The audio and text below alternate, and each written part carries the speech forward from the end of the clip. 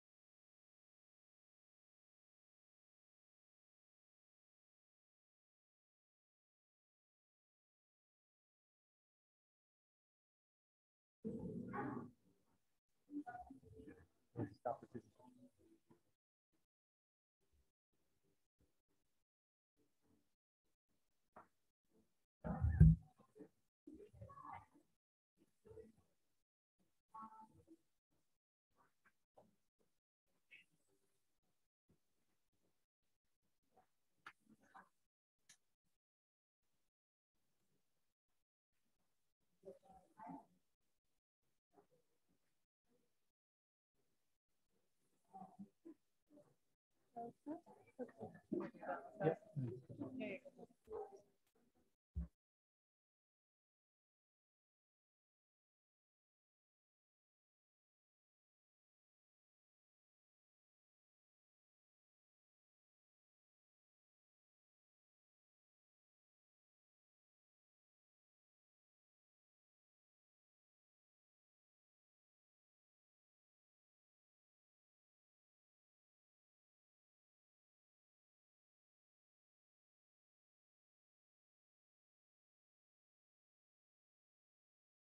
Yeah, she collected the information from all the people that were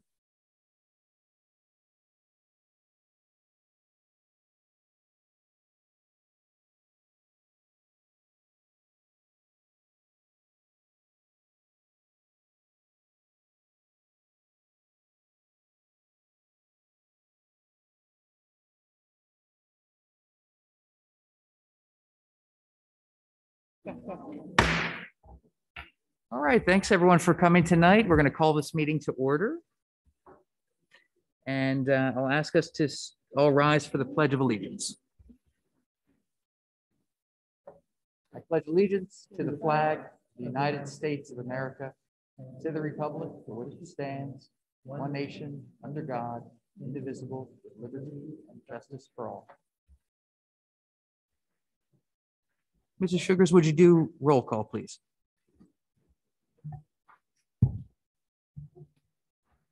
Mrs. Arroyo, Here. Mrs. Stratton, Here. Mrs. Fleischer, Here. Ms. Friedel, Here. Dr. Rude, Here. Ms. Stern, Here. Mrs. Tong, Here. Mr. Avadia. Here. And with that, I will turn it over to Dr. Meloche to introduce uh, our presentation for this evening. Thank you, Mr. Avadia, uh, and thank you to the board and the members of the community. Um, I'll do a little early thank you to our other presenters who are with us this evening for joining us for this special board meeting. Uh, This is a unique board meeting for us in Cherry Hill, uh, as it is um, not the second or the fourth Tuesday of the month.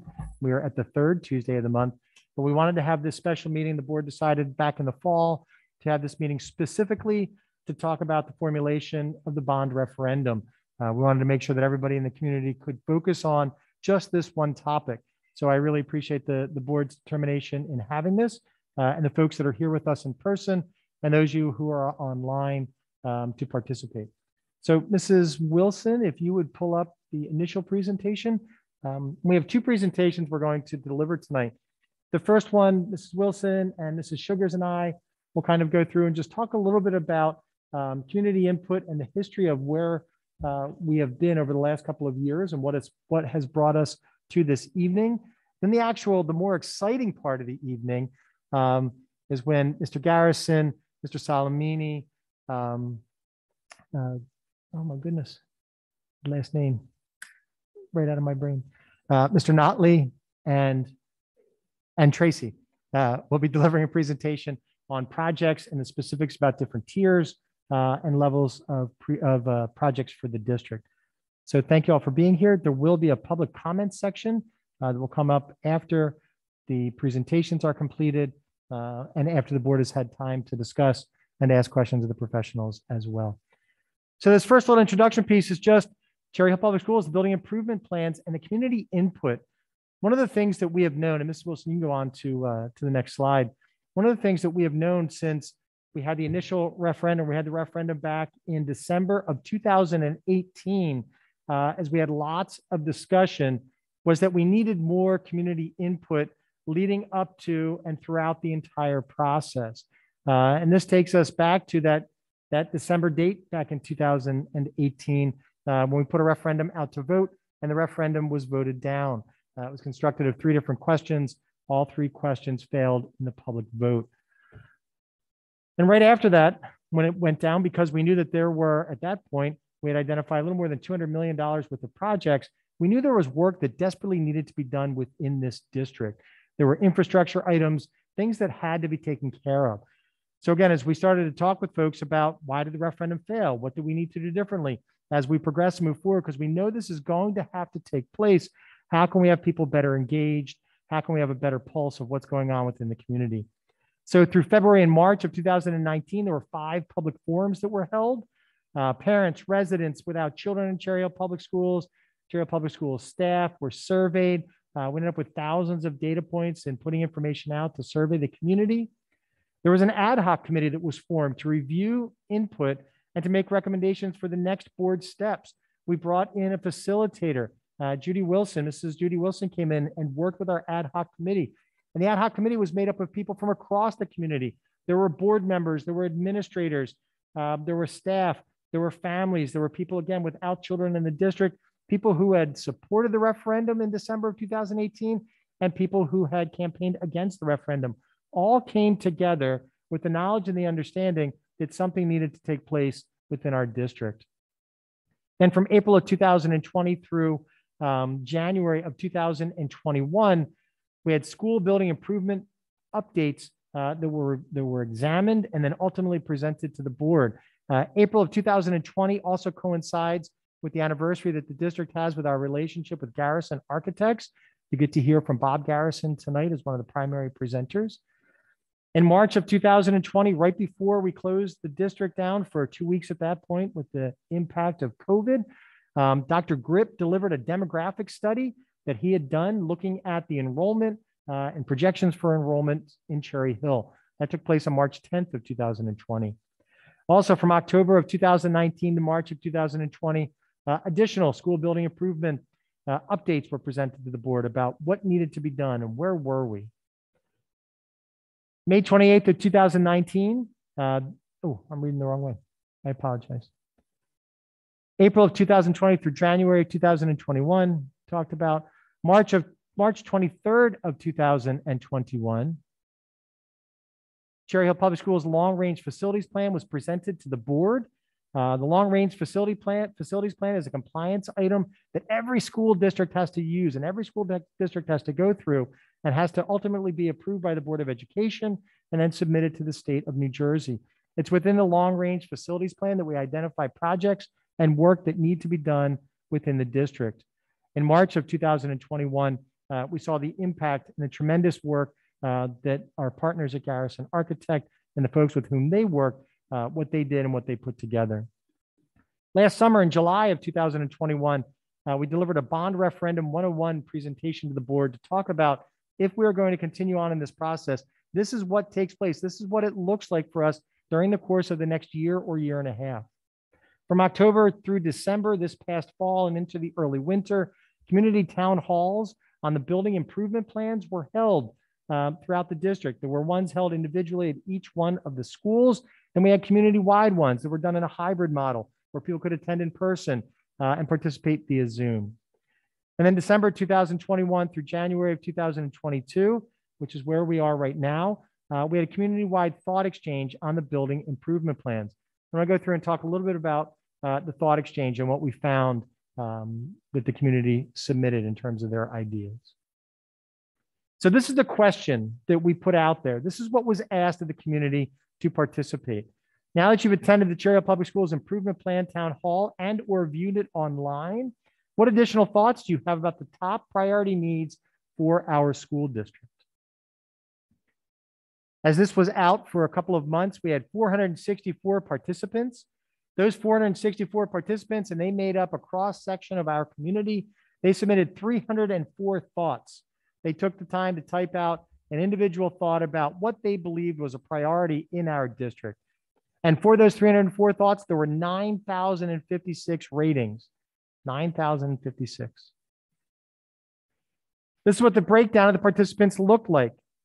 272 of the participants identified themselves as parents in the district. They had 198 of the thoughts, more than 7,200 of the rankings. 60% of the participants identified themselves as parents of a child with an IEP. They submitted 26 thoughts and had 485 ratings. And then 63 parents identified, uh, participants identified themselves as parents of a child with a 504. They submitted 52 thoughts and had 860 ratings. 44 participants identified themselves as staff members in the district, and this could be from certificated folks to non-certificated folks, um, administrators, just somebody that works for the district. And then 25 people identified themselves, uh, of the participants, as being community members without any children in the district. And they submitted 15 thoughts and 187 ratings. We also asked two questions uh, of the folks. They had, to, they had to answer these two questions uh, after they identified what demographic group they, they fell into. The first one says, We've always taken pride in our area for being a good place to live and raise our family. We must continue this tradition, support improving our school buildings, and keep our schools strong. Folks had the opportunity to agree or to disagree with that statement. 97% or 440 of those people agreed with that statement, while 3% or 14 of them disagreed with that statement. So, again, an overwhelming show of support for that statement. And then the second question was you don't have to look, or statement was you don't have to look far to see what happens to communities that fail to maintain the quality of their schools. We can't afford to let that happen to our district. 96% of the respondents, 425 people, agreed with that statement, while 4% of them, 19 of the people, disagreed with that statement. So, again, overwhelming support. This is called a word cloud. Um, so, with artificial intelligence, uh, the information that was placed into the thought exchange, all the different statements that were made, uh, they go through and then analysis is done of all of those statements. And then the words are put together that show up most often and the words that show up more than the other words show up larger in the word cloud. So you can see the things that people were concerned about compliance, technology, learning, space, ADA, accessible classrooms, uh, safe, health, safety, improvements, environment, uh, all the things that came through that shone through in the statements that were made. Then there are key thoughts. Uh, I'm going to go through a couple of sheets of these. Uh, so again, these go through based on the ratings uh, that, that people make. So you can see over on the right-hand side of the screen, you see a number and then a set of stars. Uh, so the number is the average rating that was awarded to that statement. And then in the parentheses, you can see how many participants rated that statement. So as a for instance, um, this first statement was the highest rated statement uh, that we had uh, based on the numbers. Please ensure our children are in a healthy place without mold and AC with filters older than three months. We need to make sure they are safe, healthy, and happy. At four and a half stars, 28 people rated that. That was the number one rated comment out of the 304 comments. Number two, ADA compliance should be a given. Our schools should be accessible for all students. And number three, healthy buildings. Students cannot learn without with water dripping from the ceiling, mold, mice. So again, those are the top three thoughts uh, when we did the analysis from the entire thought exchange. And then top themes by the star score, by the number of stars, ADA compliance, instructional spaces, kids, safety, technology, values, buildings, priority, safe, and central admin. And then just give a minute as we go through. Um, the next top thought, the category dealt with the bond, which kind of makes sense, being that this is what the thought exchange focused upon, is a school improvement.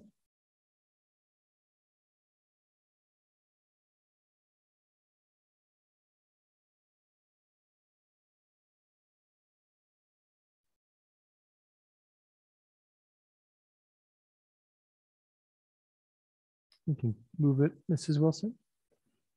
The next area, ADA compliance. And again, as we already talked about, one of the top three statements is in this area.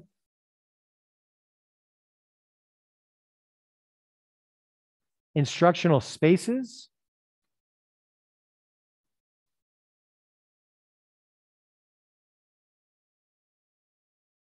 The kids. Again, a word that you would think would come up.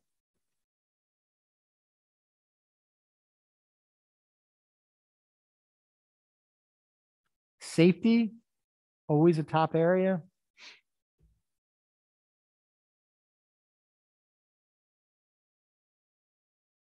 Technology.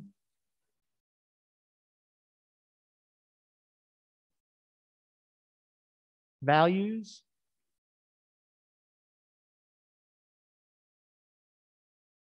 I have to say, in, in this values one, uh, the middle statement that's on this page, one that, that every time I go through this really jumps out to me. Not originally from New Jersey, but moved to Cherry Hill because of what I heard about the schools. However, I was shocked to see the condition of some of the buildings. If folks expect to maintain good school standings and the property values that come with it, improvements are needed. We hear so often that people are here because of the schools. Uh, each year when we meet new families and people tell us why they moved here, often it's from the school because of the schools. Uh, and that's something that this is not a, a foreign statement to so many of us that had the opportunity to meet new families. I can tell you, even families of, of people who grew up here in town, moved away, and then have returned to raise their children or raise their families have made similar statements, uh, being surprised at, at where we are with the buildings. The buildings overall.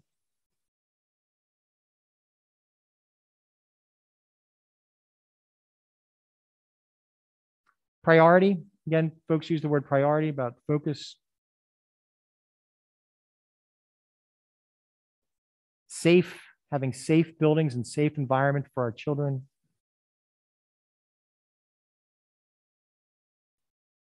And then just the next steps, be carefully considering what we learned moving forward. And that brings us to where we are tonight. Again, I thank everyone who participated in the thought exchange, who took the time to come out to the meetings, who participated in the discussions, who used our plan at chclc.org email address to submit longer statements uh, or more information. Um, there was a tremendous share going on in Cherry Hill. Uh, and typically, as many as you know, as many of you know, we are not often at a loss for people sharing their perspectives. Um, people came out uh, and really did participate. Special thank you to all the board members for their participation in so many meetings throughout the course of the fall. We are very excited about these next steps. Uh, and Mrs. Shugars, I'm going to turn it over to, I guess, Mr. Garrison. Bob, if you're all set. Great, thank you, Dr. Meloche. Sound good? Wonderful. Thank, thanks again for having me, uh, ladies and gentlemen. Congratulations to the two new uh, board members that I just met this evening. Uh, We've been on this journey. When you did the timeline, can't believe that it's almost been two years. This April will be two years. I joked uh, on that particular evening when I was hired to Mrs. Shugars that I, that was getting an apartment here in town and uh, we haven't gone to that extreme. We spent a lot of time. Really enjoyed uh, all of the, the past 18 months working here in the district. Uh, Tonight, uh, the format's a little bit different. You're not only going to hear from me, but some of the other district professionals.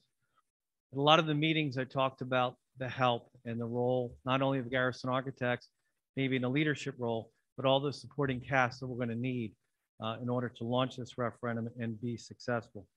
So over my left shoulder is Rob Notley uh, from New Road Construction Management.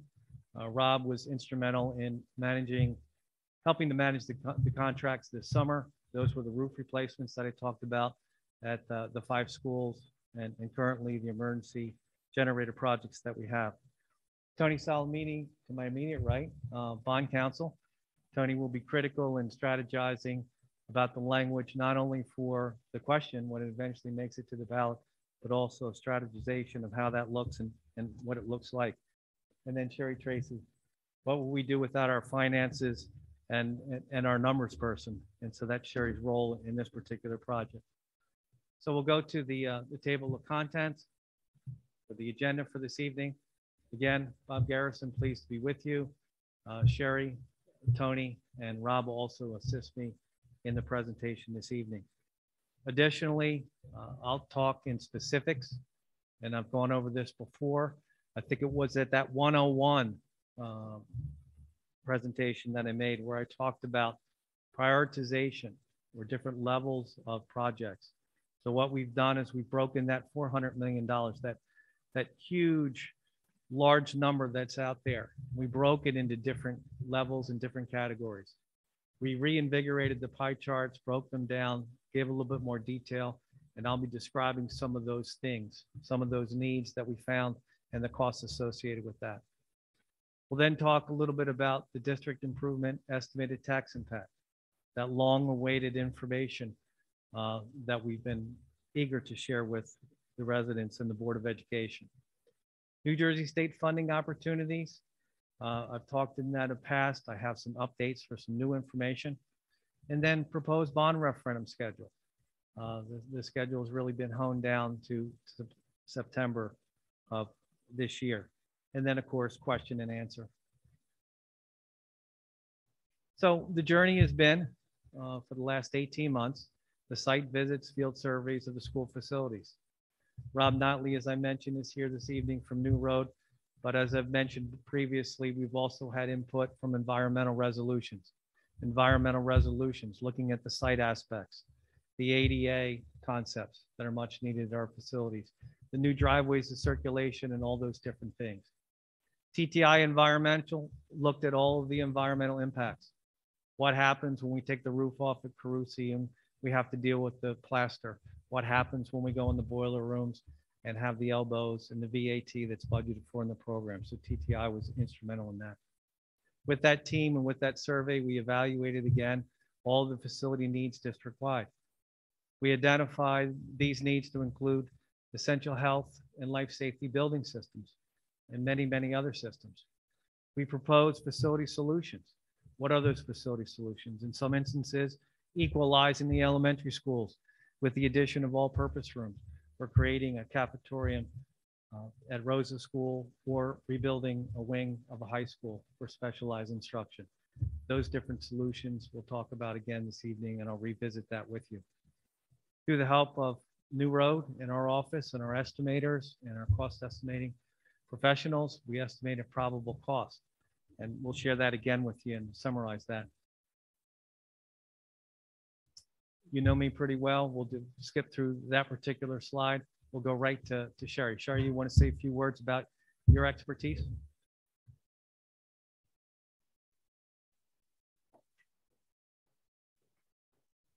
Hi, good evening, everyone. Um, As, uh, as Bob mentioned, I'm Sherry Tracy with Phoenix Advisors, um, essentially the numbers person, so uh, the finances. So I take all of the information that Bob gets for me with the total cost of the project and the estimated amounts of state aid, put everything all together, um, look at the average um, home value in Cherry Hill, total assessed value, and put together some of the tax impact numbers that we'll be talking about a little bit later on tonight that's some of the pre-referendum work that um, that I do. And then when it comes time to, once the referendum is successful, is passed, then we will assist the district in working through actually going to the market for the bond sale, helping to obtain um, a bond rating since currently, since the district doesn't have any debt outstanding, um, your bond rating's also gone away too. Um, the bond rating's only tied to debt. So since there's no debt, there's no rating at this point. So we would assist with that process. Um, and then all of the steps needed in order to sell the bonds to the marketplace to investors. Thank you.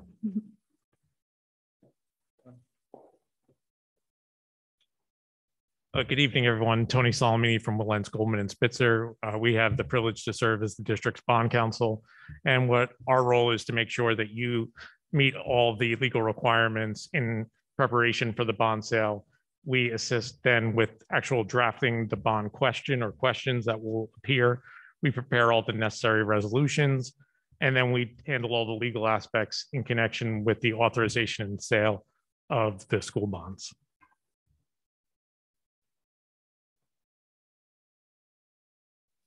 Good evening. I'm Rob Notley with New Road Construction Management. Uh, Thank you for, uh, for having myself and my fellow professionals here tonight. Uh, New Road is located in Cherry Hill. Uh, We are a professional services firm that provides construction management, and about ninety percent of our work is providing that service to K-12 school districts. We've been engaged with Cherry Hill schools for about the last two years. Um, Our role kind of develops through the course of the, uh, of the, of the referendum and the, the subsequent uh, execution of the projects. Um, We've been supporting Garrison and the district through the pre-referendum phase. Um, As we get into pre-construction, we'll do more detailed cost estimating, uh, review of the construction documents that the design professionals put together. Uh, When we get into construction phase services, that's where we really start to uh, to spread our wings. Uh, We'll have full-time on-site construction management. Uh, The number of people that we'll have on site will depend on the number of projects that are, that are going on at any one time. With a district this large and a referendum program as extensive as this, that will probably be a, uh, a, a pretty large construction management effort. Um, The main thing that we, that we, our, our, our primary goal during that, that part of the, uh, of the project is maintaining safety and security of students, staff, and the public throughout construction. Um, And we will just act as an advocate for the district and always serve in the district's best interest. We'll follow that right, right through to post-construction, make sure these projects wrap up in a timely fashion and um, get the school trained up on, uh, on all their new buildings and, uh, and equipment. Thank you. So going back and, and thank you, everybody. As you can tell, we've got a great group of professionals here that have, that have worked uh, seamlessly together. uh, Currently working with um, many of these individuals on multiple, multiple projects. So we're, we're well schooled and that relationship will, will prove to be valuable as, as we uh, launch on this effort. So I, I began this evening talking about the the 101 presentation that I gave. And during this journey, the question was always asked, well, how do we break this down? How do we, as lay people, put some type of priorities or some type of order, if you will, to what you found? And I thought a lot about that. And it really couldn't be subjective. It had to be based on fact or knowledge, or in this instance, a governing body like the Department of Education. So the Department of Education in 2000 created the levels for which I broke this referendum, proposed referendum down. So I didn't author this. This is something that state government has deemed through their research to be level one, level two, and level three where you could say that the top priority in their mind when they were dealing with funding in 2000 to a, a lower value. So let's visit those different levels. The level one projects are the most critical operating building needs, including health and safety and program mandates. First and foremost, and I was so pleased to see the responses from our tours and our meetings to be captured in that first bullet, right? Essential building systems, essential. Essential is water and air and security and dry schools. That's what we heard throughout the, the different comments that were made. So essential building systems, structural, those are our facades in our buildings, mechanical, electrical, cooling, and plumbing systems. The envelope, warm, safe, and dry, right? It's not raining in, in classrooms. Repair, replacement of roofs, windows, and masonry. Again, top priorities. Building code compliance. Something as simple as interior doors. Interior doors right now that don't have closers or that, that aren't rated or have the 100 inches of vision panels that are called for in the Department of Education's facility efficiency standards. So that's not only a building code, but also a DOE code. ADA, huge theme in the input that we heard. Site and building access, toilet room renovations, widening of doorways to classrooms, access to playgrounds, improvements on the playgrounds, hazardous materials, asbestos, vinyl asbestos tile that we have, pipe insulation, and plaster, security and communications, public address, telephone, building entrance security systems, door access, site drainage to remediate existing problem, not in conjunction with new construction. So new construction in the state's eyes for new parking overflow areas is another priority, and I'll show you where that is. Elementary school playgrounds, level one priority. Replacement of playgrounds to meet life safety standards as well as consumer product safety codes. Then finally, in this category, specialized instructional needs, expansion or the creation of educational adequacy, renovations of spaces like science labs, and we see that at our high schools and our middle schools in the program, instructional media centers. I talked about this relentlessly. Instructional media centers, taking those older libraries and making them more instructional. That's how we get better instructional space for our students, more flexible space within the means, instead of constantly building new construction, which you as a board have heard me talk about, is penalized in the funding formula. STEM labs, robotics, career spaces, especially at our, at our high school levels. Those are all the things that we identified and that we talked about in, in our building tours. So when we go to the pie chart, the thing that jumps out us at us, which is the number one uh, priority, this was one of the first bullets, was all the essential building systems. And first and foremost was HVAC. HVAC at $80 million, one of the largest pieces of the pie shown to you right there in green. We talked about the HVAC. The HVAC is complete replacement of existing aged systems and the introduction of indoor air quality aspects when we replace that equipment and the introduction of air conditioning. The biggest, the most common piece of equipment in district is a unit ventilator. We saw that on our tours. That's the box that's under the windows. Some 800 of those, right? We have unit ventilators that provide heat only. We want to upgrade that. We want to have them provide heat and air conditioning.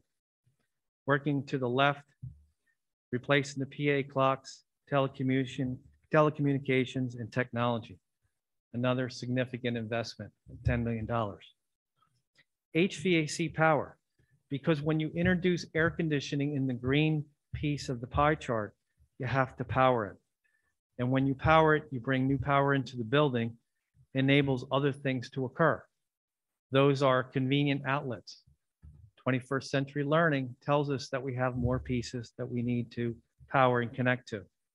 Security, fire alarm in a limited number of schools, the generators in a limited number of schools. The smaller piece working to the left, million three, hot water heaters, domestic water, and getting our water bottle, water filler replacement. District's done a nice job up until this point doing that. This will take care of the rest of that. Replacing the interior doors, frames, ADA access, modifications, and most importantly, providing intruder hardware, $14 million investment. Unisex staff bathrooms, classroom bathrooms, all bathrooms, $11 million investment. There, what we're talking about is completely gutting those spaces, making sure that they're ADA compliant with proper circulation, as well as low consumption fixtures for energy conservation. Media centers. Media centers, again, a large investment. Instructional media centers, converting them, reconfiguring them, reinvigorating them. New furniture, new colors, new themes, new input. On one of the building tours early on at West, I walked in the front door and I was handed a drawing from the principal because the staff there and some of the students had created a vision for the media center over at West School. So I knew we were on the right track in including that in the program. Elevators, new elevators, elementary school, high school, again, to facilitate more ADA compliance, and then making sure that the elevators that we have, especially at the high school, have the modernization that's required not only from mechanics, but also to meet uh, the ADA compliance initiatives. They're in orange or, or lighter yellow, science labs, uh, music, F-wing con- construction, stages, all of those renovations are there in, in a big investment on the inside of the building. With the exception of F-wing, which we talked about at length, that's over at East where we're tearing that down and reconstructing that, introducing some new spaces. The one thing that's a little bit different here that stands out really as a unique school aspect is Carusi School. At Carusi School, because of the plaster that's under the roof, which has to come off, the plaster that's in the corridors, which is in the way of all of our construction, we have to rent temporary classroom units, relocate those students out so that we can safely abate the plaster and do the interior construction that is most needed. Hazmat, an appropriate uh, topic going to the right with the green piece of the pie chart. Hazmat, as I mentioned, vinyl asbestos tile, the plaster and Carusi, uh, pipe elbows, and anything else that is affected when we do our construction and renovations. Please note that the asbestos that is in the buildings is non-friable in its current condition. It's only when we touch it do we have to abate it and make sure that's done safely. ADA compliance for site drainage, paving, playgrounds, large investment uh, there in the light blue. Interior signage. This is ADA compliant signage. Every single building, every single room. Ambitious project, $2 million investment. Masonry, window, lintels, EFIS, which is the exterior insulation finish system. It's that Dryvit looking thing that you see uh, when you drive down the road. Also, uh, caulking, exterior door repairs, replacement, $17 million investment. Roofing, preserving that community asset, making sure that it's watertight, $31 million. As I mentioned, the district did five roofs, Stockton the entire roofs, and then four partial roofs at Rosa and three other elementary schools. So the district has done investments in the building, but there's still some roofs that are out of warranty. Then we have the areas in blue, uh, the curtain walls, the exterior windows, the facade repairs, all those blue things that are outside the building. And that takes us to a level one total construction cost of just over $300 million. Level two. So the state defines level two as renewal of existing buildings, overcrowding, and improvement in the quality of instructional spaces, and in many cases, other interior renovations. And let's go through those uh, specifically. Repair or replacement of existing building systems and components not included in level one. So level one was all those things that I just went through. So in level two, these are common things as interior finishes, floors, walls, ceilings, interior lighting, casework, furniture, kitchen equipment, and front entrance canopies. All of those things, as we know, are in our proposed program. Existing site upgrades, upgrades to sidewalks, paving, fencing, and exterior security lighting, not ADA issues. So the ADA issues, again, are in level one. So if we have to build an ADA accessible route to a playground, that's in level one. Or we have a drainage issue for paving, that's in level one. Renovations, reconfiguring, and our new construction of capacity generating classrooms to ease overcrowding. These are such things as small group instructional rooms. We are creating some small group instructional rooms, specifically if we move the main office to the outside of the building with new construction. We're also creating nurses suites when we do that. All-purpose rooms are um, in that, in renovations. Technology infrastructure. Department's technology plan does not include equipment, obviously, because we'd be bonding these improvements over 20 years. And we don't want to buy the equipment with borrowed money that has a life expectancy that's less. So the pie chart for, for level two. Start with the largest area.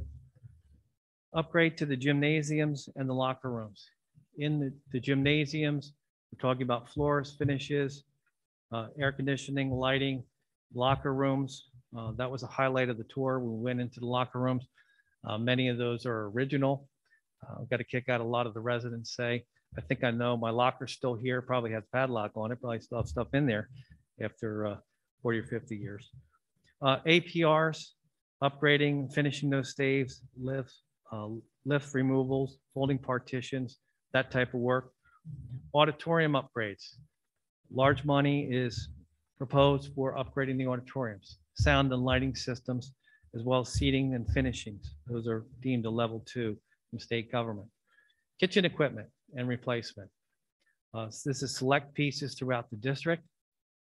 Exterior lighting kind of speaks for itself. There's not a lot of exterior lighting.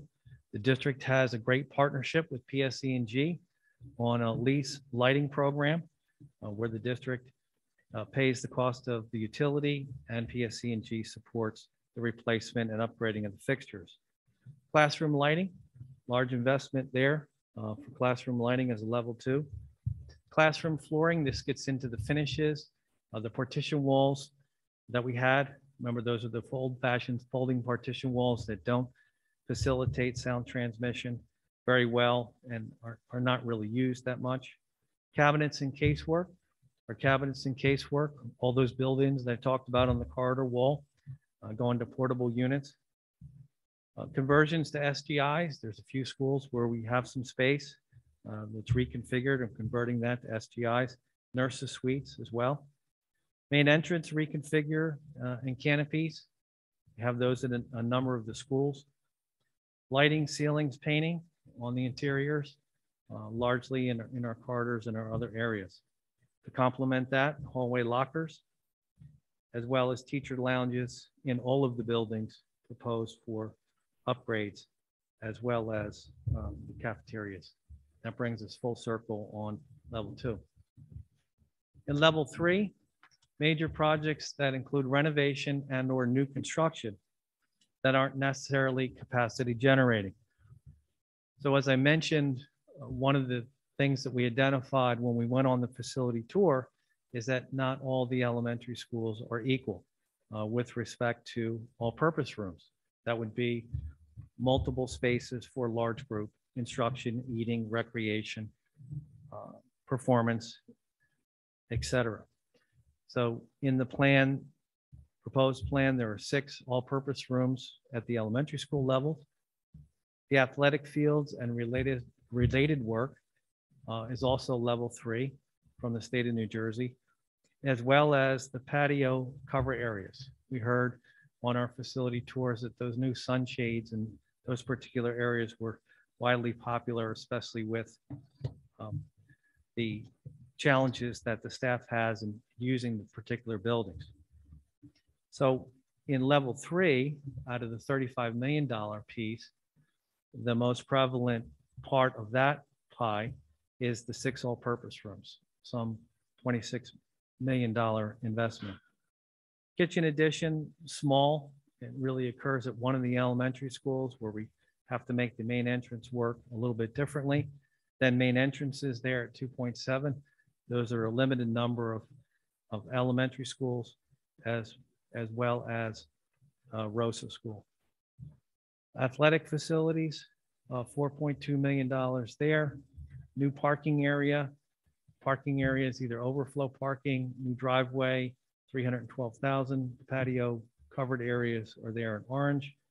Basketball court reconstruction, and then LED monument signs. LED monument signs were contemplated at every single school. uh, Standardization of messaging as well as identification and access to uh, the front door and definition, defining the main entrance, if you will. So now that we have all of those things identified, in the first example, all of the projects, there's this, all the pro- projects in level one, level two, and level three, everything that we identified, that $403 million that's out there. As Sherry mentioned, I've handicapped that if you look at the individual presentations, right, they were in green. I estimated what the state share would be. So I took all of the projects district-wide, that's level one, which is highly eligible at forty percent. Level two, which has some things a little less, and then level three, remember, we have that hundred and forty-three dollar challenge with the new construction at forty percent with state government, so that reduces that down. So on average, we're looking at about thirty-one percent, did everything. That's hundred and twenty-six million dollars of debt service aid after discount. Uh, After discount was something that we talked about also on the tours. The district is entitled to forty percent. The governors have underfunded debt service aid to the districts in the amount of fifteen percent. So when Sherry does her calculations, we always do them at eighty-five percent of forty percent because we don't want to mislead the board or the taxpayers based on historical data, based on the tradition of the governors when they formulate the Department of Education's budget, or this aspect of the Department of Education's budget, because there's a lot of other things that go into that. So we're fully representing that and being transparent that that state aid could be 126 million, not 40% or 160 million if you do the simple math, right? So taxpayer share 276 million. Well, the tax impact per year, per year on 276, because we would get the debt service aid over the life of the loan, let's say it's 20 years, is $511.05. This assume that that is the tax impact on the average assessed home. Because the tax calculator on the website will tell you what your specific tax is if you own a home at $200,000 or $400,000. But we have to have a baseline. And that baseline is the average assessed value of 225, 473. When Sherry does these calculations, she's very conservative. This is a great interest rate, 2.75 over 20 years, right? Historically low when we borrow money. So that's the example if we did all of the projects. Let's say the Board of Education wanted to do the level one projects. Well, the level one projects, we look at the pie chart, $308 million. The state share goes up because we don't have a lot of new construction that drags that down in level one at 34%. The taxpayer shares 203. In this example, the tax impact per year would be $376.17 for all of the projects in level one. That's three quarters of the needs that we identified in the assessment. If we go to levels two and three, those are $94 million. The state share again is 21 million. Remember, level three is that low funded area because of the new construction. And you see it there. Level two is 31.45. Level three is only eight and a half percent because we can't build something for $143. So that tax impact for levels two and three is $134.87. Now,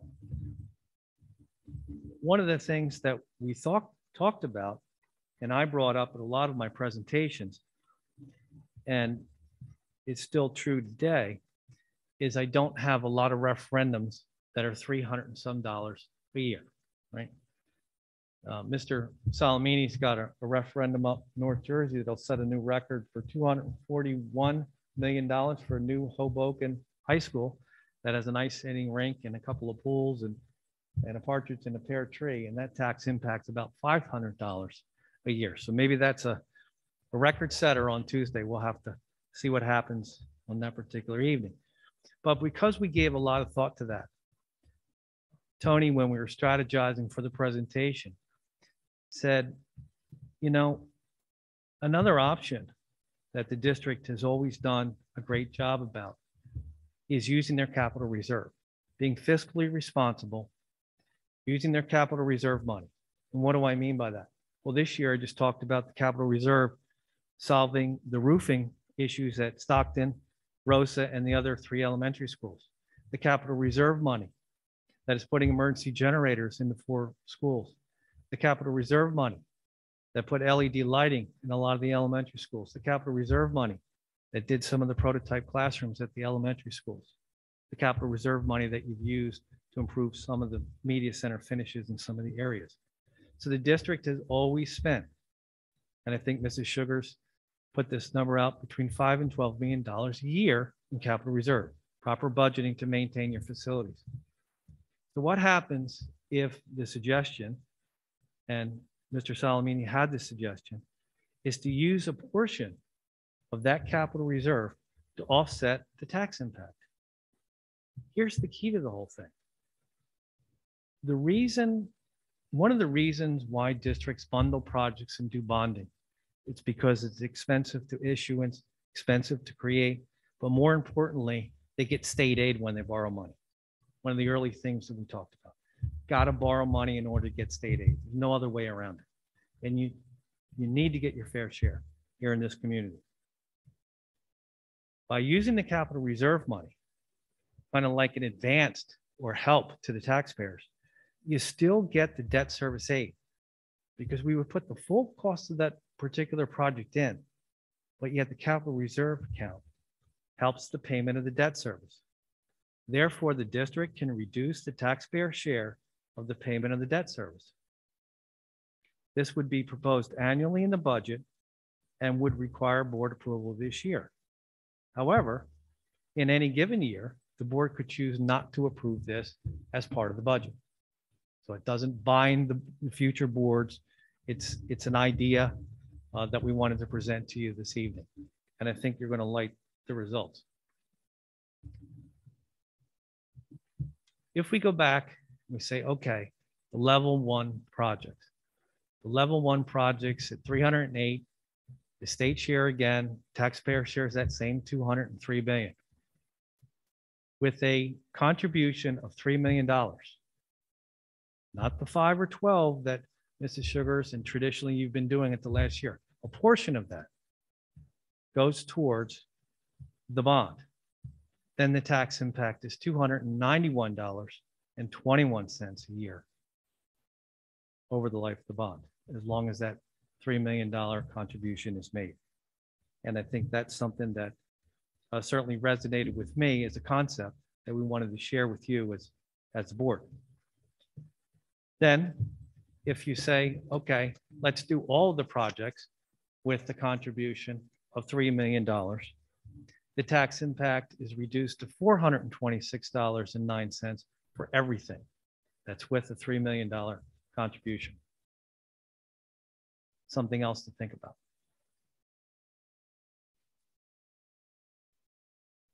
So next steps. Determine the scope of the projects. We have everything laid out. Tried to break it into different pieces. Decide if there's going to be one question or two questions. Explore this idea of capital reserve contribution and maintain getting state aid, getting that debt service aid on that item, and then helping the taxpayers out of the annual budget.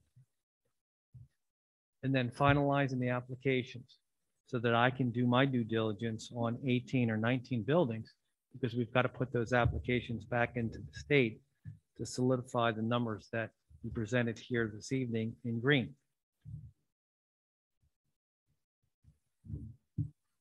New Jersey state funding opportunities, just real quick to, to go back over this. Debt service aid, that's what we're talking about as the primary mechanism. Remember, we get debt service aid over the life of the loan. We have to borrow money, simple authorization from the voters in order to get that. We were on a call with the New Jersey BPU uh, just the other day. Uh, you have actually a resident here in the community that works for the BPU. We were happy to talk to uh, Michelle Rossi about that program, explore that program. New Jersey Smart Start is something that I maintained. I shared with Mrs. Shugars that at a referendum in Burlington County, Rancocas Valley, they got $270,000 in rebates after it was all said and done. There are other programs that are out there that we talked to her about. Uh, we have some other applications that'll be going in to try to reduce and bring back that more money to Cherry Hill Township. Capital Reserve is another way to fund this. I added that to the slide. Uh, that's the, the thought process that we're, we, uh, we created that, that we leave you with for discussion. Proposed bond referendum schedule. Uh, schedule really hasn't changed. Our goal is to get these applications in um, in the near future to the Department of Education so that we can not have a September 27th, 2022 uh, election. Tony actually reached out to the, the governor's office again about moving that election because of the Jewish holiday. They're well aware of it. So he and I are both working on that. Uh, But it's our opinion that that'll either be moved back a week or ahead a week. So we'll see where, where that particular thing lands. But please be assured that we are seeking the answer to that question. And there'll be a lot of other people with seeking the same answer uh, as they plan for referendums in September. So with that, um, did I miss anything? Mike? Okay. So we'll turn it back to you. Mr. Avadi. Thank you, Mr. Garrison. Um, Before we proceed, I'd just like to give my own thanks and I'm sure the board joins me. Um, Bob, Sherry, Tony, Rob, we know you worked hard and, you know, really helped game this out to, to tee up this conversation. Um, And that work is much appreciated. You know, this, we know how important it is. Spent a lot of time talking about it, but this is the fruition of, I think, everything we've asked for in the, you know, the the analysis that's so helpful to the discussion that will ensue. So with that, I'd like to turn it over to Mrs. Tong, who is, since last we met, Bob, she's now the strategic planning chair, um, to go through some board member questions and to, to help to help move this discussion along. All right, so Mrs.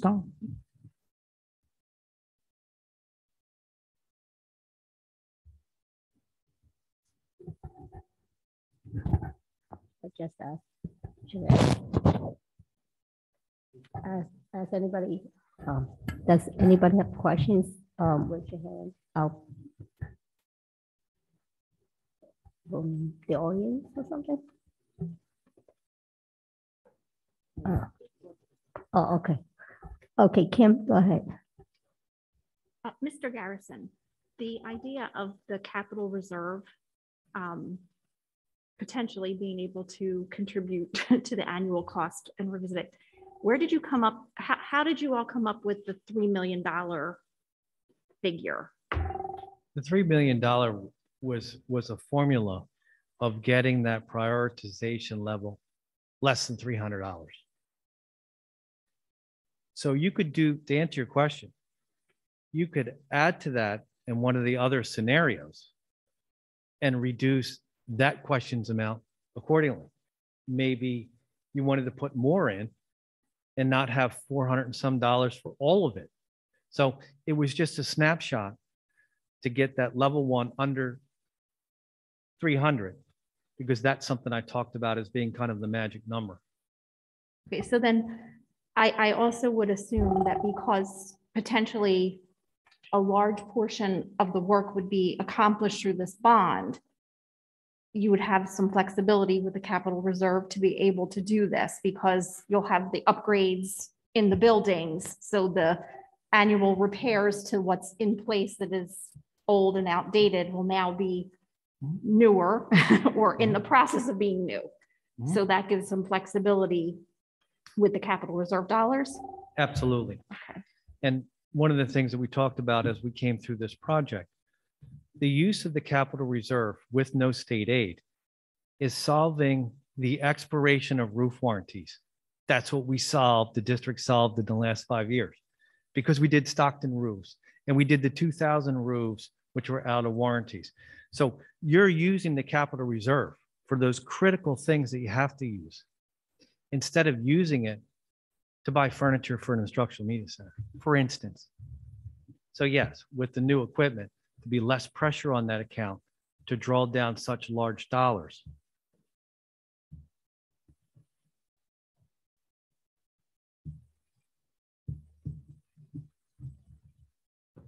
Mr. Wu,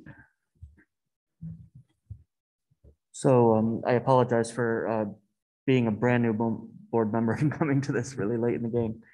Um, But a, a- question that, that arises to me is like, um, there's a lot of projects, a lot of things to fix. Um, It's a big price tag. and we're servicing debt over, over twenty to thirty years. If we, let's just say hypothetically, we did everything on our to-do list. Does that get us through, does that last us more than twenty years? Like how, how, how long are these improvements going to uh, keep the Cherry Hill school system uh, being pristine or being, being improved? Great question. And it's nice to meet you, Mr. Rood. Thank you. Dr. Rood, thank you. Um, The life of the bond will be 20 years because I think all, we all want to agree on the fact that we don't want to borrow money for a building system that won't last 20 years.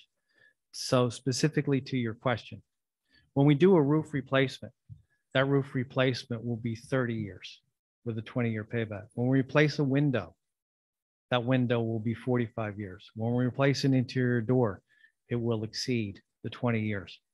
The only aspects of the program that will not last 20 years would be things like carpeting with wear and tear, some of those interior finishes.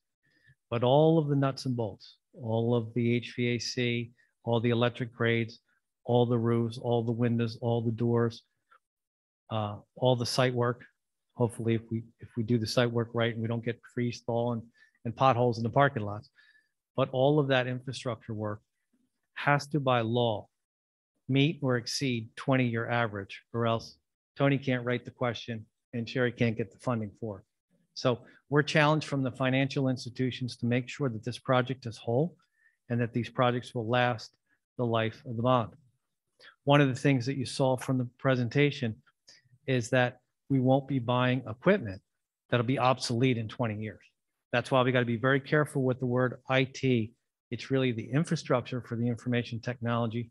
It's not going out and buying a new laser printer or something like that that we want to finance for 20 years. So all the improvements will be 20 years or more. And if, if I may, I have one more uh, question. Um, Again, this is over, over 20, 20 to 30 years. What have you all done in the process? And I know I'm late to the game. uh, To, to consider growth of the school system. Um, I know that over 20 years, I don't, I don't know what the projections are for growth in Cherry Hill, but has that been factored in? Like, are we gonna get 10 years in and need a new school? Dr. Meloche talked about the, the enrollment projections that were done by, by Dr. Grip. And we're confident that with these improvements, um, the schools can accommodate uh, any growth. And here's why I say that. In the presentation, I talked about the creation of small group instructions, creation of special ed spaces. Sometimes in a school, when you have an 800 square foot classroom, it's better to have two 400 square foot small group instructions spaces instead of using eight students for an 800 square foot classroom. So a lot of thought's been given to the rooms that maybe can be better utilized to create that uh, additional capacity. Plus, with the construction of the all-purpose rooms, that gives those elementary schools a lot more freedom, a lot more spaces to do the things that they need to do in additional square footage the reconstruction of the, the F wing at, at the high school, that's an additional opportunity to tear down what's there, recreate that space, better utilize some of that space. So there's different aspects in that. There's no large classroom additions, if you will, but we're working in those spaces. And lest I forget the instructional media centers. We want to see students, and I think Dr. Meloche would support this, to go into the instructional media centers and actually have a class in there instead of the, the vacancy that exists in our spaces with just stacks and books that aren't utilized. So One more, sorry.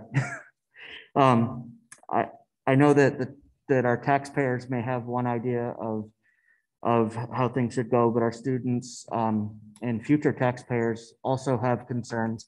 And I know one of them uh, is, is sustainability and impact on the environment.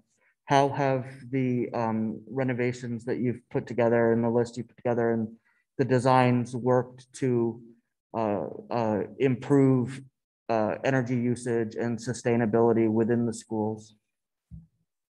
first and foremost, and, and I guess that was a great question early on. what is the bigger, what's the biggest power consumption right now in the district? And you know what that probably is? It's a 1960 or 1970 unit ventilator, right? With a old motor and a fan wheel and a belt and whatever, using a, a lot of power. When we change that HVAC equipment, just like you change it in your house, the increased SEER ratings, the efficiencies that we get there, the introduction of building automation system controls, controls that actually can control one classroom, controls that do diagnostics, controls that tell us when to turn things on and off and to program them. Um, you have a snow day. The head custodian goes to their phone, turns the boilers off before the school day even starts when he gets the call from Dr. Meloche at 4:30 in the morning or whatever it is, just as a, a quick example. The turning off of lights, the uh, introduction of LEDs, all those things reduce energy consumption. We are, to be transparent, adding air conditioning. So it's not a complete loss of power consumption because we are going to be air conditioning, but we'll do it in a responsible way. When we do bathroom renovations, right now, a lot of the schools have the old fashioned um, toilets and, and urinals that use a tremendous amount of water, not the low consumption that we would be putting in when we replace those particular fixtures. So anything that we can do to incorporate the LEED guidelines. Now, I'm not going to sit here and tell you that the buildings are going to be LEED certified. We're not going to have grass on the roof and, and rainwater collection and, and that kind of stuff. But a lot of the other equipment, we will obviously take advantage of that. Recycled materials in carpeting that is purchased. Uh, certain tiles that are that are purchased through recycling, making sure that as much as possible we can be green and still keep our eye on the ball and, and provide a safe, you know, environment that's proper temperature and and ventilated. Thank you so much for answering my questions. Appreciate it. Thank you. Um, Ms. Jane Fletcher? Thank you. And I did want to thank all of you for all the hard work. It's been amazing to see what a road this was to get here tonight. So thank you so much. Um, I do have two questions. The first one um, being, there have been a lot of people that I've been speaking with. Um, you did speak to it a little bit when Dr. Rood had, um, had asked the question, was about upkeep of everything that is going to be built. Um, you know, and, and I, you had said that, you know, hopefully the thought is that it would be lasting 20 years, but we all know kids, schools, things get a little beat up.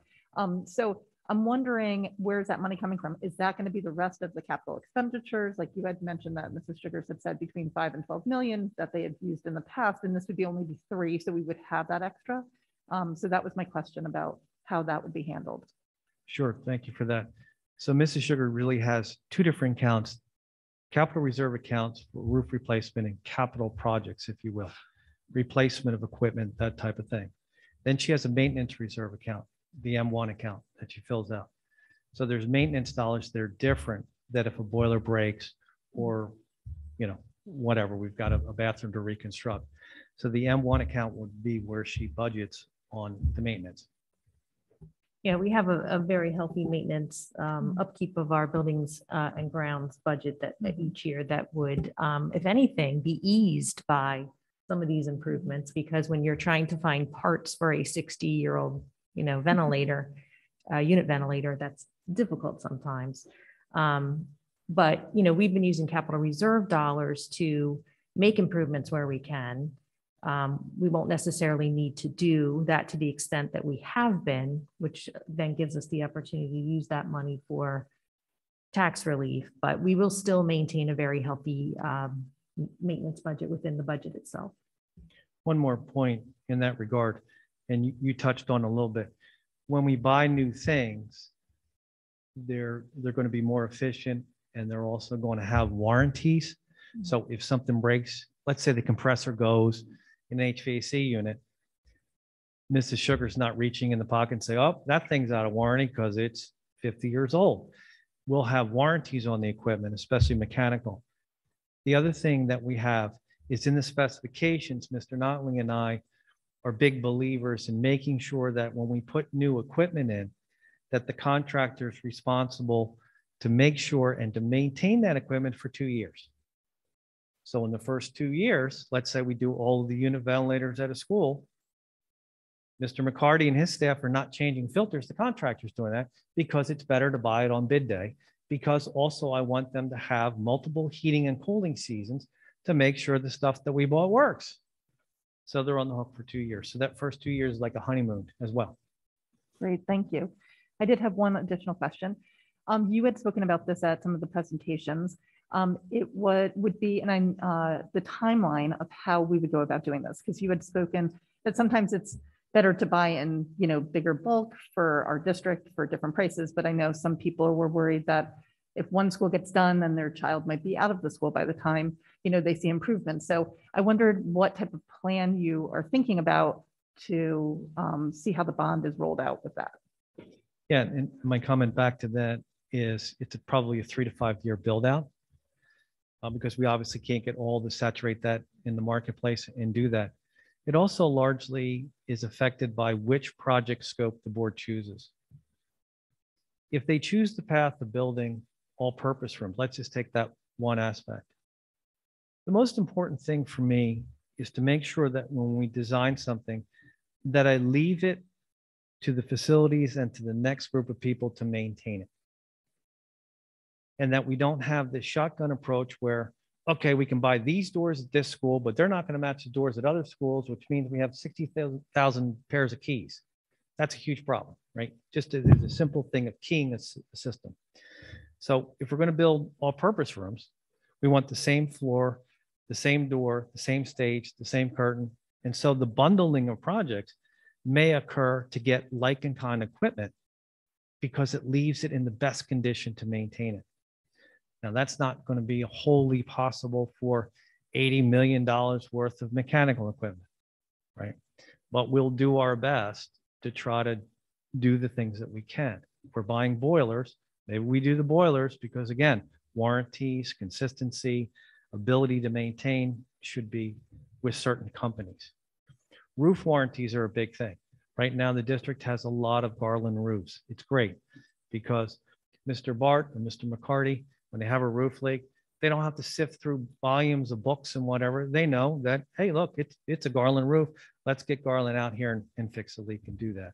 So we try to be consistent with that in the specifications. Thank you so much. And I agree with you when you were saying about the standardization of messaging too. I think that sort of, you know, is included in what you're talking about because I, I think our district really needs that um, right now. So thank you very much.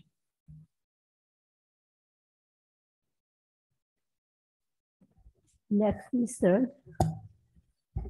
Thank you. So this will come as no surprise. I have a pretty long list of questions, so I'll try to just go through them really quickly with you if I could. Some of them are hopefully very easy to answer. Um, Are there any ADA compliance um, projects that are not addressed um, in level one?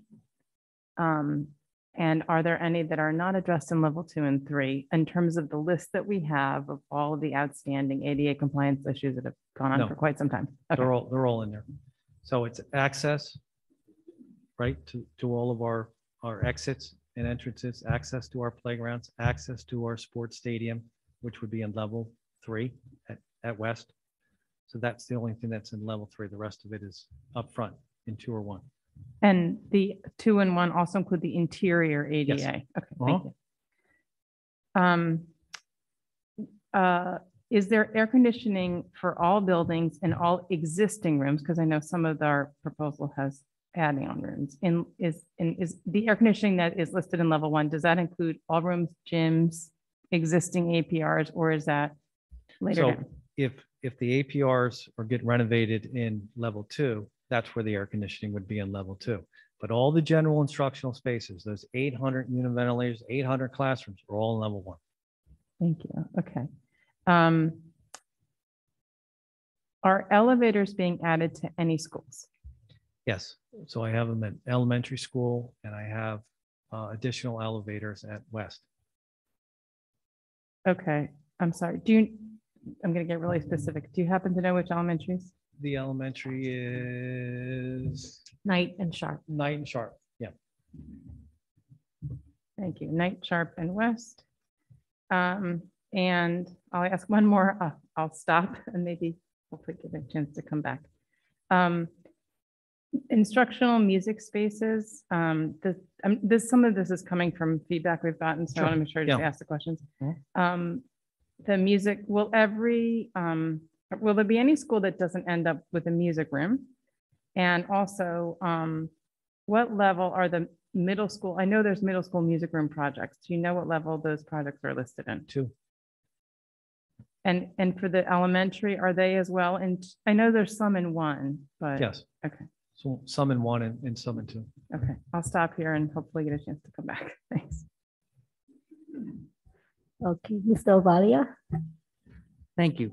Um, So just, uh, just a comment to start, which is, I do like the methodology uh, that you've done to get us to 291 average. I, I, I think the participation from us out of an operating budget, you're quite right. I mean, we can't commit future boards. However, number one, uh, history and, and Mrs. Shugars' information has proved out that this is a reasonable. It still leaves us other dollars. Um, but frankly, I think, I, I think this community wants to see participation from our annual budget. And I think the, the best way to do that is cap reserves. So I've got three questions.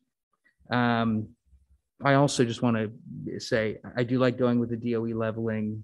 Um, so that, that scenario to me is very salient. And that, that frankly is, is something I, I would like to, as, a- as a single board member, move forward with. I've got three questions, um, but I'm going to give you a little bit of a break. Uh, my first question, Sherry, we've talked about selling this bond in multiple tranches. The people who've I've, I've heard from, which, you know, have said to us, look, it's such a low cost of borrowing. Why would you do that? Want to get your perspective on that. Uh, Tony, um, to me, I think we have to go to with one or two questions. I think that's really the universe that's possible here. Can you give us a sense of if it was, let's say, one, uh, and then two and three as a second question, how would you go about thinking that through and the, the, the, I guess, Bob, part of the campaign value, but also like the pluses, minuses. And I want to go to Bob to just give us a little more perspective on how we use cap reserve and still maintain the maximum reimbursement for the state. Um, So to answer your first question, um, as far as selling the bonds in, in multiple tranches, um, really, and again, yeah, interest rates are phenomenal right now. They're still continuing to be very low. Um, Our office had a sale today for a 30-year bond issue that um, ended up with eight bids and the winner was like a 246. So, um, you know, I have been conservative on the projections, 20 years at 275, but we are expecting rates to rise a bit this year. You know, we've already, we've seen it a little bit start to happen, not very much. There's still very strong demand for municipal bonds and not enough supply. So um, even as, even if the Fed does increase the short-term rates as, as expected this year, that doesn't automatically mean that the long-term bonds are, are going to go up as much or, or um, at all, really. Um, they likely will because they've been held um, low for so long. So really the, the decision on how, on how to sell the bonds would probably come depending on what the market environment is like after. If the referendum is held in September, after the referendum, as we start to look towards, you know, right at the end of the year, um, potentially in November, December sale for maybe the first tranche or all of it. You know, it may make sense to move ahead with all of it. If we start to see short-term rates go up, maybe we have those two or three Fed hikes by then and actually, you know, we, we can earn some money on the short term. We can, we can earn some interest now where we haven't been able to in the last two years because interest rates um, in the, our overnight bank accounts or any investment accounts, treasuries have been almost nothing. So if we're, if we actually see a flattened sort of yield curve where short-term rates move higher and long-term rates are still staying pretty low, we may want to sell it all at once because we're able to get pretty much the same investment rate on our money that's going to be sitting in the bank as we're borrowing. Now, I'm not saying that's what will happen, you know, that that's one scenario. So it's really kind of more of just looking at the market at the time after the sale. Um, but as as Bob Garrison mentioned, the the the time horizon for for build out of everything is about three to five years. So with that being said, if we don't see um, strong investment rates, maybe it may not make sense to borrow at call it two and a half, if we can only earn 50 basis points or 1% on our money that we might not use for five years. So maybe it makes sense to do half of it or three quarters of it. So those are some of the analyses that I'd be very happy to help the board with, you know, down, down the road um, as we look at what the interest rate environment's like at the time.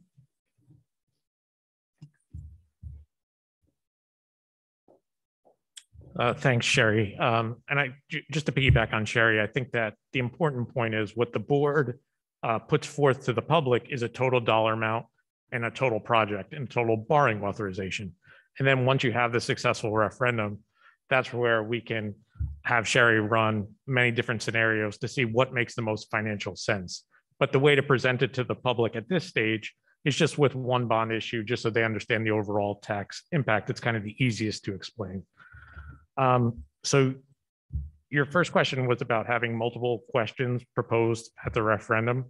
Um, I've done this for 20 years.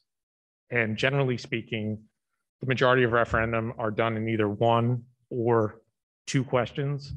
Uh, generally speaking, when it's a multiple questions, the second question is contingent upon the first question also passing. Um, with that being said, I have done referendum up to six questions. I think that becomes crazy and convoluted and way too complicated. Um, even three questions, I think, becomes a little crazy and convoluted. Um, so I think uh, one or two questions is probably the best avenue. Um, and I think the way Mr. Garrison uh, laid it out, and depending on what your district needs are, following those levels that the DOE outlined is probably a good way just to think holistically about the projects and to kind of think about the priorities for the public, because that's the way the state views the priority rankings. Um, and the last thing I'm going to steal Bob's thunder about the capital reserve, because once you get an attorney talking, I'm so excited that I don't want to sit back down. So I apologize, Bob. Um, but uh, with the capital reserve, the benefit is you still get the state aid because each year Mrs. Shugars is going to put in the debt service payment to the state. And then you'll offset your local share by whatever capital reserve contribution you want to make. But the state will pay you the debt service aid on that total number. So you're going to offset the principal and the state will still give you the full debt service aid on whatever you're owed that year for the principal and interest. So that's why when we were talking the other day, it makes a lot of sense because you have this healthy capital reserve. Your administration and your board has done a good job with securing those funds on an annual basis to have those. And now by using them with the debt service aid, you know, you're kind of getting like almost, you know, a double bang for your buck. Because if you're just spending them as you are now on your annual projects with your roofing, et cetera, there's no aid. The only way you can get aid under the current state statute and state uh, form funding formulas is if you issue debt. So that gives you an opportunity to issue the debt, but still use the capital reserve, and you're getting more bang for your buck. Because a district like Cherry Hill, you don't really get many other aid other than this is your one big shot of getting aid, so you might as well take advantage of it. And Mrs. Tong, this is Barbara Wilson. Just checking in. Um, we are at eight o'clock, which means we are an hour and a half into this meeting. We have about an hour left, just to be mindful that we will have community um, input as well. Thank you for that. Oh, okay, sure. Ms. Fidel? Uh, Mr. Garrison, I just have one, one question. I'm looking at the pie chart for level one. Mhm. And in the blue, in the, in the medium blue, you have 29 million, 29 million, 250,000. Curtain wall masonry repairs, and then it says auditorium wall and facade repairs. Can you talk a little bit about what this auditorium walls and facade are? At the auditoriums, it, actually at both schools, we have some, some masonry needs. At West, it would be on the top where we had an incident where the parapet wall had deflected and some emergency repairs were done there. And then, of course, East, just like the courtyard wall was repaired this past year with Dandia Construction for $4 million. There's some much needed work at, at East Auditorium. So because those are building skin items and not sound and lighting, that's why they go into level one.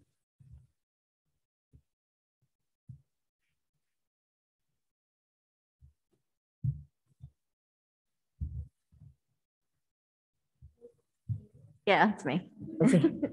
I just have, because I'm not sure where it fits in into level one. Um, and I don't know if it was included because I, I don't remember this part, but the west intersection.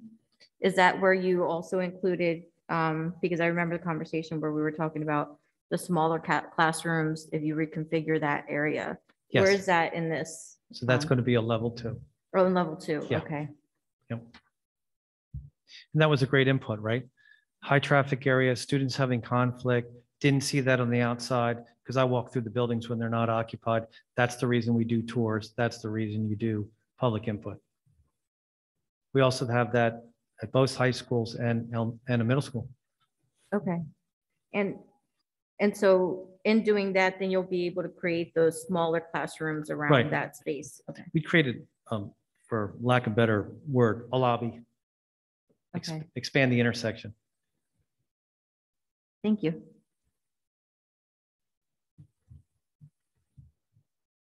Oh, okay, Mr. Wu, go ahead. I Just uh, uh, thought of one more question in thinking about the financing, just because I want to understand for myself what this really means. Um, so, so when I take out a mortgage, I look at my thirty-year mortgage and I realize that I'm paying for two houses. Uh, what's the, what's the interest, like, what, what are we paying in interest on all of these loans? Like, how does, how does that work?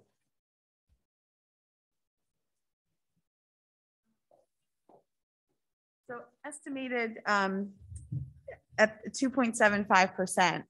Um, and then that's just, uh, I don't think I brought, I don't know if I brought the interest numbers with me. Um, but it would be two point seven five percent of the total. Now, when you repay a bond, there's certain legal requirements that Mr. Salamini will make sure we follow.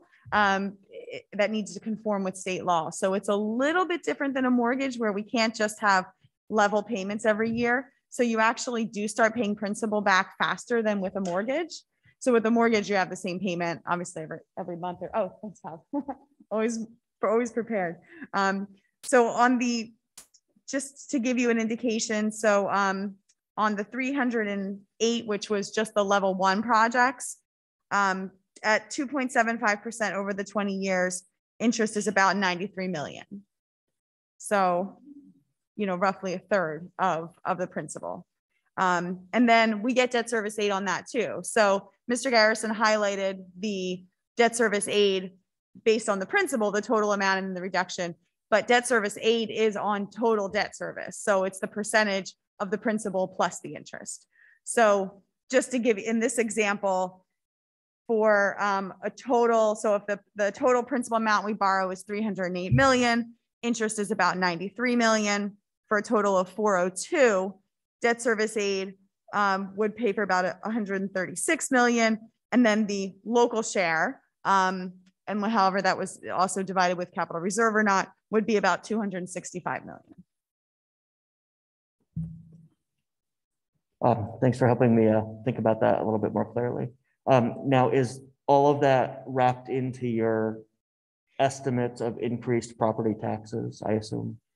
So I have not done, um, one of the things I did to, to be conservative, again, all my, Bob mentioned it, all my numbers are always, always conservative. Um, I left assessed valuation in the township as flat for the twenty years. Okay, So Cherry Hill's been having increasing ratables, values have, have continued to increase. So as that increases, the average, there's more people or more value paying the same dollar amount. So it's actually gonna, would actually push the, the amount per house down a little bit as, um, as values increased. thank you. Um, but everything's, I, I held it flat for the twenty years.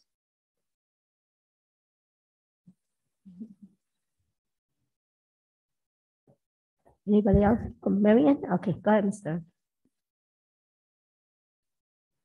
Anybody on this side? No? Okay, Okay, go ahead, thanks. ma'am. Um, couple quick, hopefully again, hopefully easy to answer.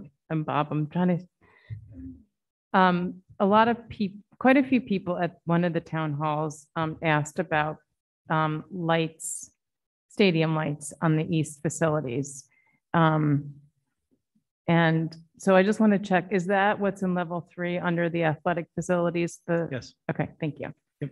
Um, so I also want to just confirm this because we had this discussion, but the average assessed home has not, the, the, the township has not reassessed, even in recent light of recent. So I think right now, you know, we can kind of know these are the most current numbers. So just thinking about the, the tax impact.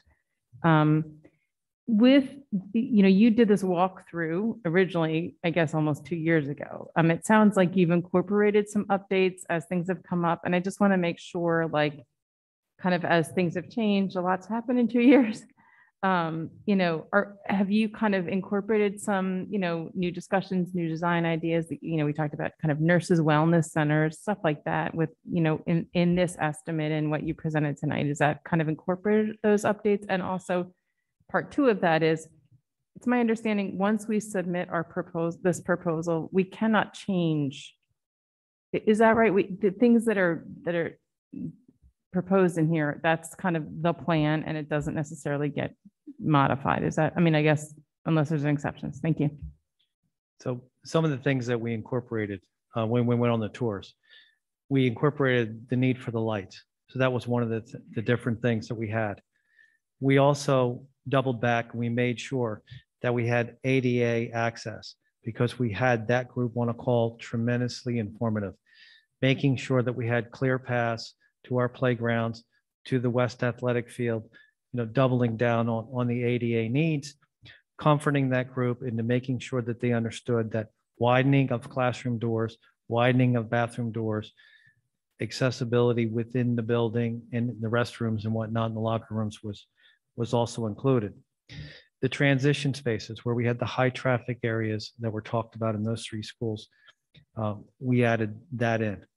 When I talked about the Student Wellness Center, I referred to my work currently at Cumberland Regional and, and Kingsway and using portion of the media center for, for some of that.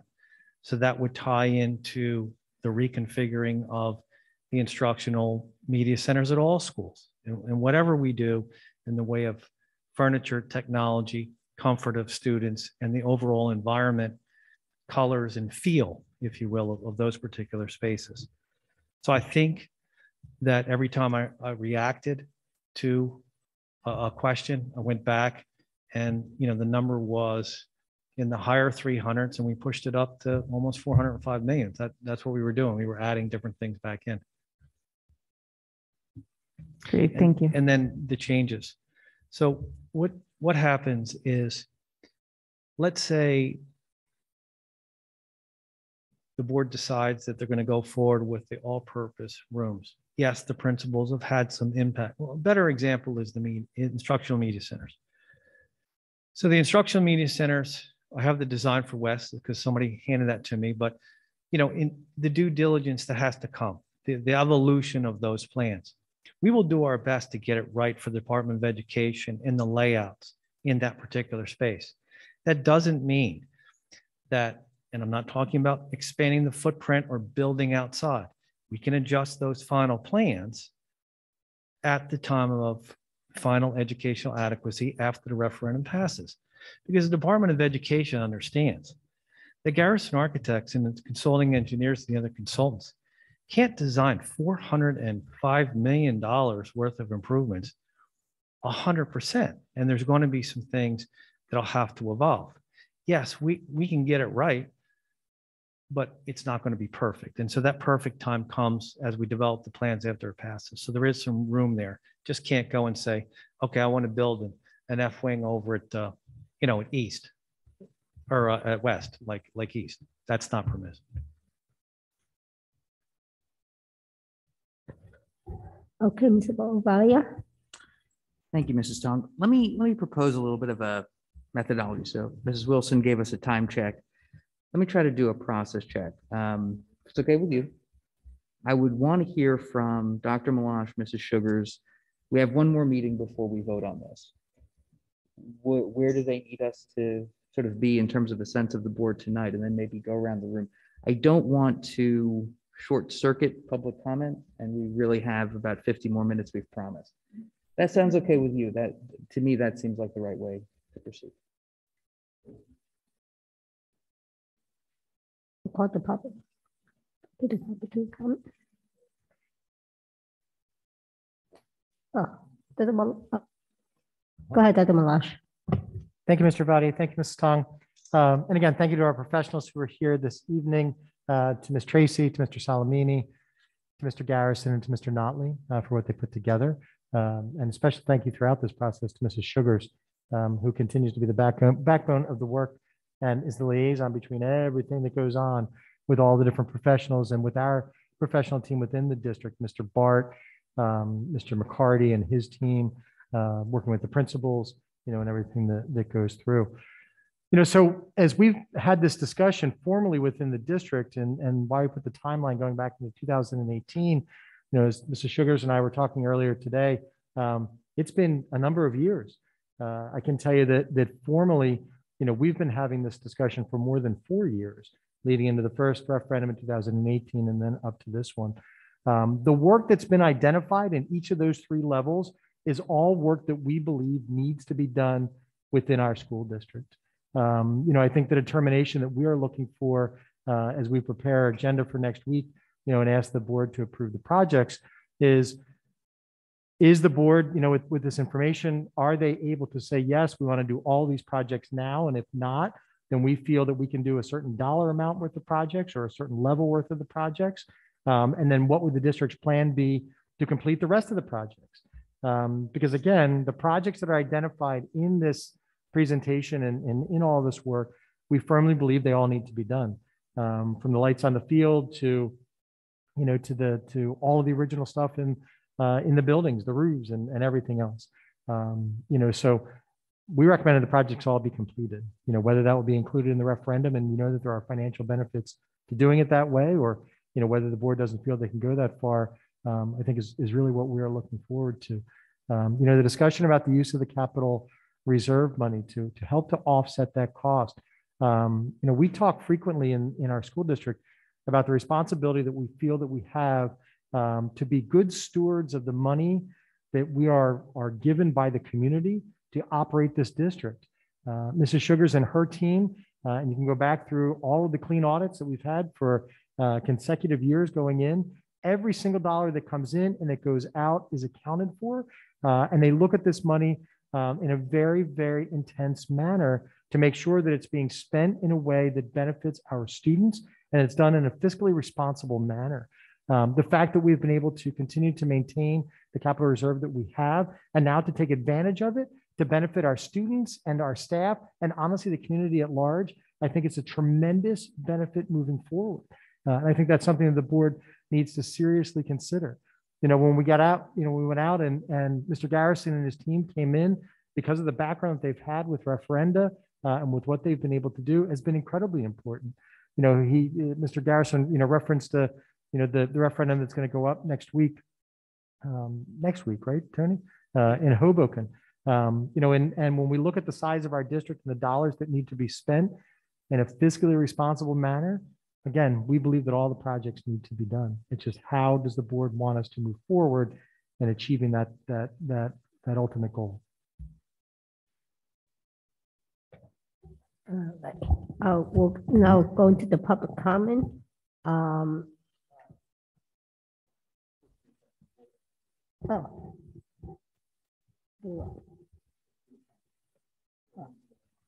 Oh, all right. Uh, I'm gonna do the census of the board, so what do you want me to do? Go ahead. All right, Sorry for the, we don't do too many special meetings, certainly not this board that's about two weeks old, so, sorry. Um, You know, uh, my, my, my perspective really is, and I, I don't think this will be a surprise to anyone. um, I would like to go with level one. I would like to go with a three million a year set aside. I would like to do all these projects. But I think clarity of message, maximum of return, and the fact that the DOE is telling us this is level one gives it a certain prioritization. I also think that we're going to have to take into real consideration things that we heard in our roadshow. The lights at East did come up. As a matter of fact, we had a, a very articulate young man at East talk about how that could be a game changer for, for the community. Whatever of that is not included in level one, I think we need to look at, but I think we need to start to pick. APRs are great. but it's going to mean more to some schools than others. Same thing with playgrounds. Um, Same thing with a lot of things. I think our ability to choose the prioritization of it is critical. The other piece is, I think, you know, six or seven or eight years, we're going to have to start a discussion on another bond. We don't want to be in a situation where we're going 20 plus years with no bond progress and no success in getting uh, the public on board with some investment. Um, That happened in this tranche, you know, a lot of well-meaning people did the right things, you know, but when you add it up, a lot of time um, that we were not able to get together on a bond as a community, more than 20 years, we want to plan better in the future. Um, And so, so it's one of those things that I think level one maximizes our degrees of freedom. I agree, I'd like to do all these projects, but we find ourselves so far down the path. So for me, the scenario that, that was sort of presented, uh, you know, the one I'm referring to, level one with the 3 million out of ops that flows through capital reserves a year. Can't guarantee future boards will go along with it, but to me, that's, that's the comfort area that I have as of this evening. Okay, Ms. Mosey. Before, like, we can, I would feel more comfortable if we heard from the community right now before I, we get back to this, this part of the conversation. Um, I'm, I just want to hear community feedback and then we can go back to that. Um, Dr. Meloche's comments, I feel, um, I, I agree with what he stated. In fact, I'd like to also see additional capital reserve dollars attached to this, but I want to hear from the community before I make a decision. So if we can, I'm not sure if, is this part of this conversation? Can we change up the lineup right now? Can we go to community comment? I believe we could. It would be a, a- change to our agenda for this evening, but people who know better than me, we don't have Paul, but we'll defer to, um, we can do that. All right, would, would, would, the board sort of agree to move in that direction, to hear the public comment and then recir- resurface, or I'm sorry, recircle back for a sense of the board? Okay, nodding heads seem to indicate that's okay. Um, Mrs. Dong, did you want to do public comment? Yeah, let them, let's have some public comments. I guess we're gonna do the audience first, and we will have everyone three minutes, am I right? Three minutes? Please stand, uh, state your name when you come up here and your municipality. Then we'll go, we'll go forward now. Go ahead. Anybody in the, in the, um, audience here?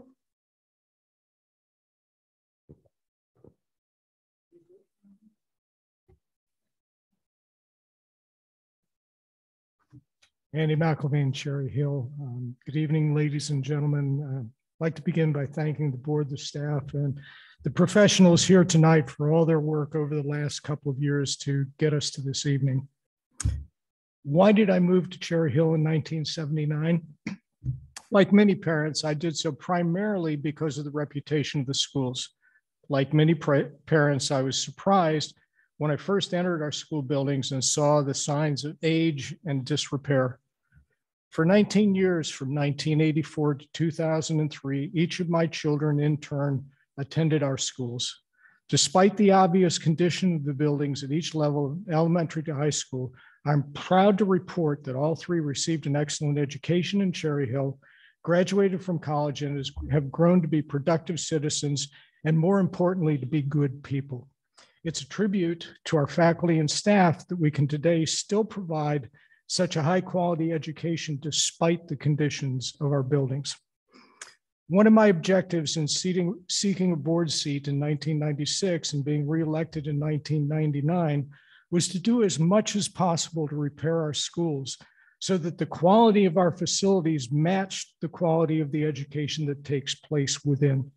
During my tenure as a board member in 1998, 99, the community supported a $52 million bond issue to address half of the projects needed. The pundits said at the time that it could not pass in Cherry Hill, but the community recognized the need and responded. As it was in 1999, our buildings in 2022 are well past their life cycle. To extend the life cycle of our buildings for another 20, 25, or 30 years, to provide for the health and safety of our students and staff, to continue to provide the quality education our community expects and demands, a bond will need to be approved in the public vote in the fall. Unfortunately, today, the cost of making our buildings as new is much larger than in 1999, but that cost will only continue to grow with inaction. The decision on what will be done and how much it will cost falls squarely on this board. Only you can direct the administration to proceed. To begin the process of preparing and submitting the reams of paperwork to gain approval of the county and the state, you will need to vote to do so. In making your decision, I ask that you remember why you are all here to provide the highest quality education to each successive generation of Cherry Hill children in a safe and secure environment. In my mind, there is nothing more important that we as parents and as a community that we can do to ensure their future. And I'm reminded of an old uh, aphorism. Our community benefits when wise people plant the seeds for a tree under which they will not sit. I ask you to plant that seed and grow that tree. Thank you.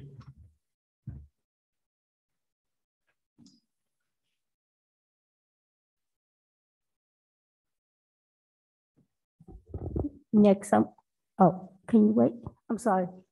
I have, yes, yes, yes. Sorry, Ann. Okay, um, there's a student on the, um, eight, Mr. Aiden Wu.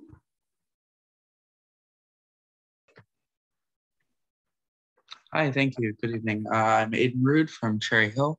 I wanted to speak tonight about the importance of considering the impacts on our school communities of construction uh, as it occurs both in implementing this bond over the next several years, if it passes, and in planning for it right now.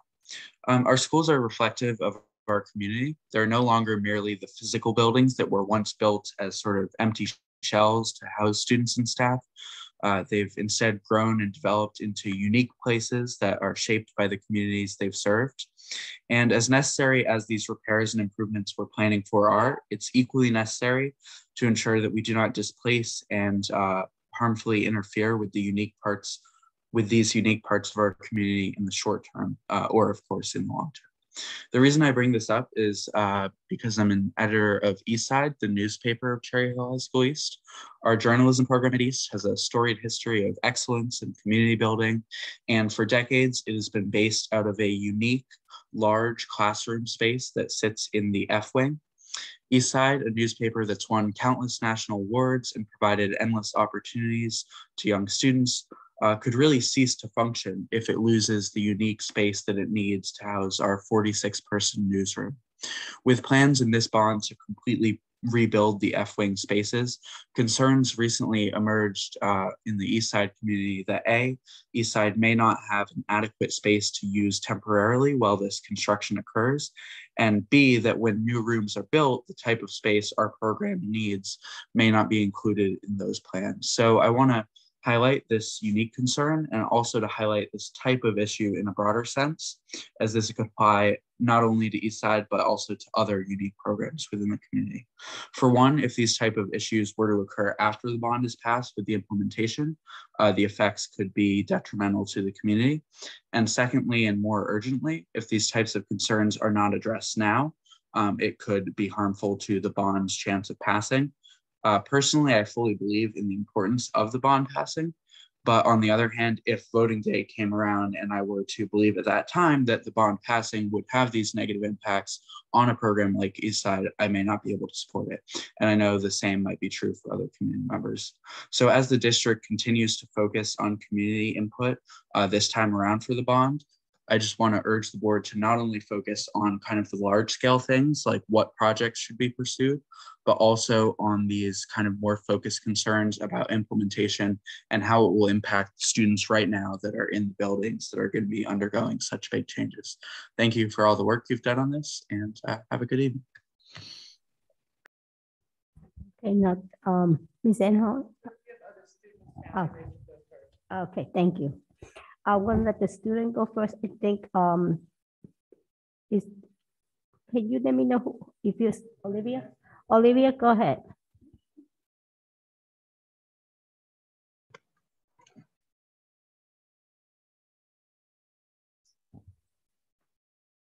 Olivia? Hello. Okay. Um, so hi, I'm Olivia Hung and I will be and I'm a junior at Cherry Hill East. I will be speaking about getting lights their East Turf Field. If I'm being honest, my in my opinion, as a student and an athlete, East is lacking in school spirit. I feel that the high school experience is a big uh, high school sports is a big part of the high school experience. I believe not having turf lights is one of the reasons why East lacks school spirit. There is no Friday night light football games or any sports games at night. People are not invested on how our school sports performs. For example, I played in the 2021 Powder Puff game as a running back, and from the feedback I received, both the juniors and seniors played very well, and it was fun for both grades. Although many others and I enjoyed playing the game and being on the team, there was not much of a student section. The senior section looked like they had a decent turnout, but for the juniors, it was only a small handful of boys who came out to support us.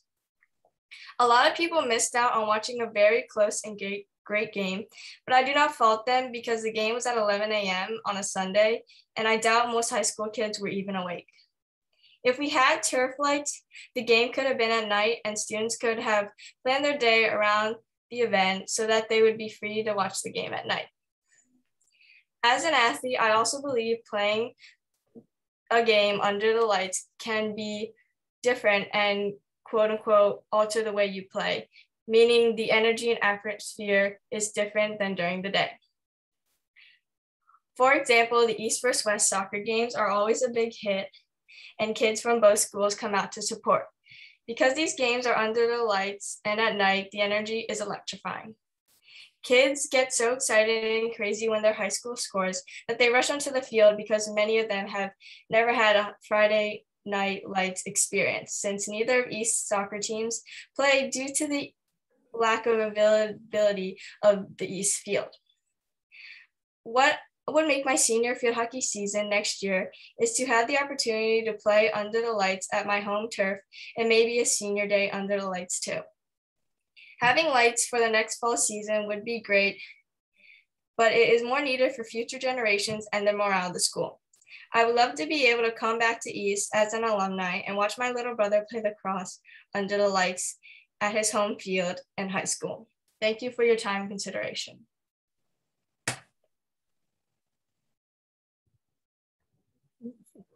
Is Jacob? Oh, Jacob is not? Jacob is not? Okay, I'm sorry, Jacob. You're not. Um,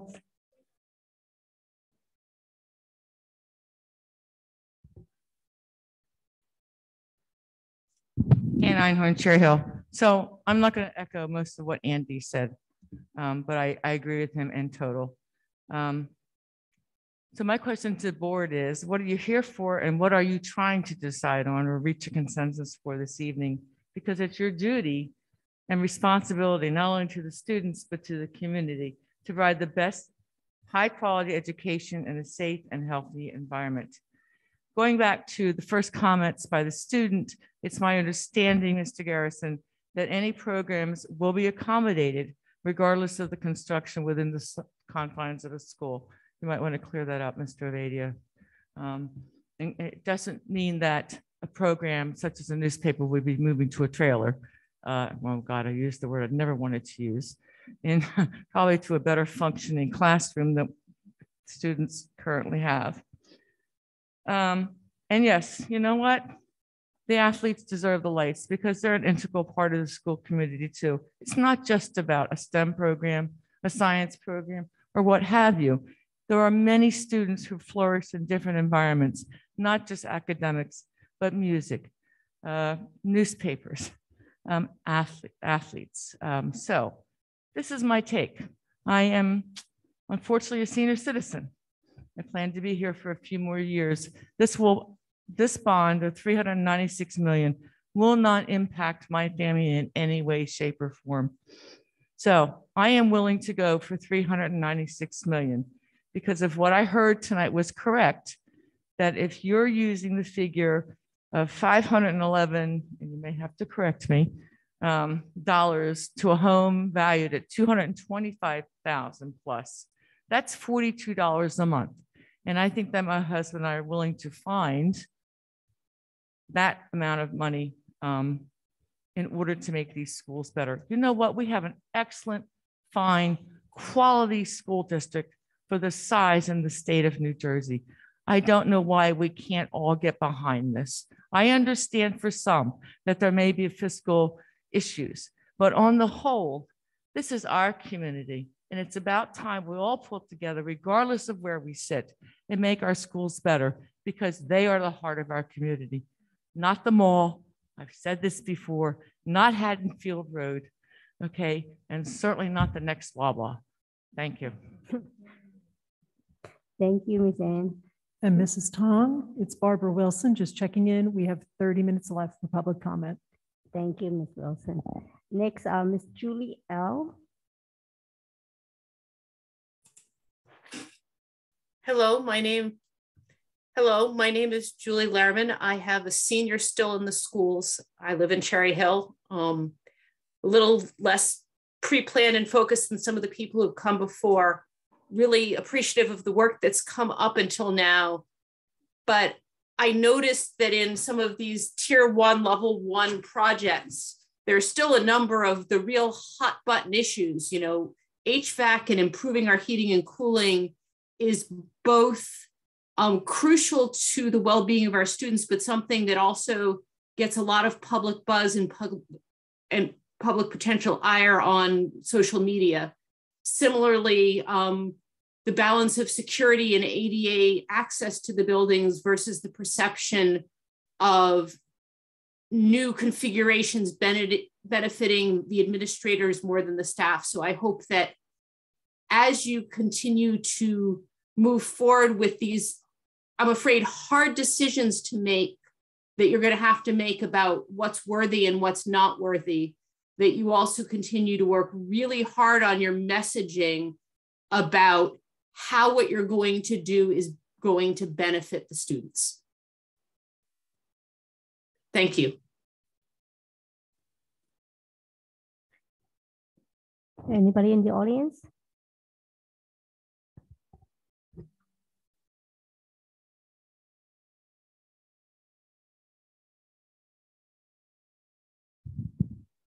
Rick Short. Is it on? Okay, thank you. Uh, Rick Short, 1002 Chelton Parkway.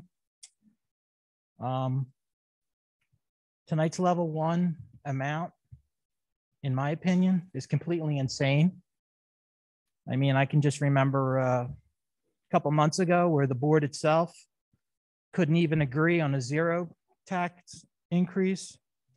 I agree, we need a bond, but $308 million is completely insane, the amount. And that's what's going to be said in the public, in my opinion. My next question is, there was an increase, and I guess this is for Mr. Garrison.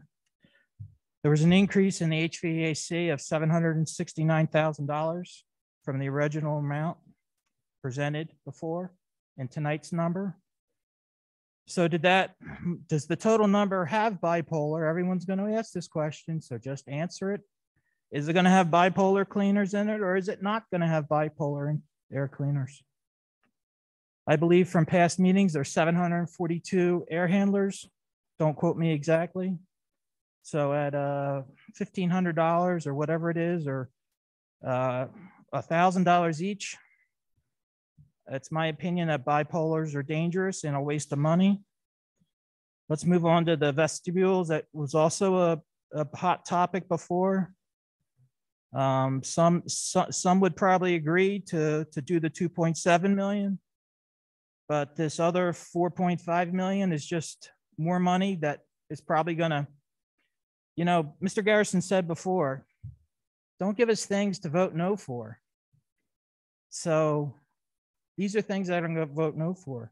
And while I agree with the public, I totally agree East should have lights. I totally agree. But if you put it in the bond, it's just one more thing to vote no for. You can put that in your general uh, budget for next year, and it might even be quicker. You might even be, be able to get lights up quicker, not putting it in the bond. And this 8 million on all this media center stuff. I'd love to see it. But there's other sources, there's sponsorship. And this district says does nothing to get sponsorship. You don't have a sponsorship package. These are the things you guys got to have if you want to get a passable bond. You got to be able to hit every deflection that anyone can possibly have.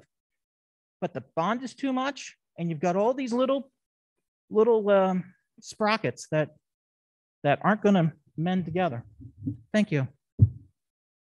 Thank you. Next, uh, Beth. Miss Beth, you go, you're next.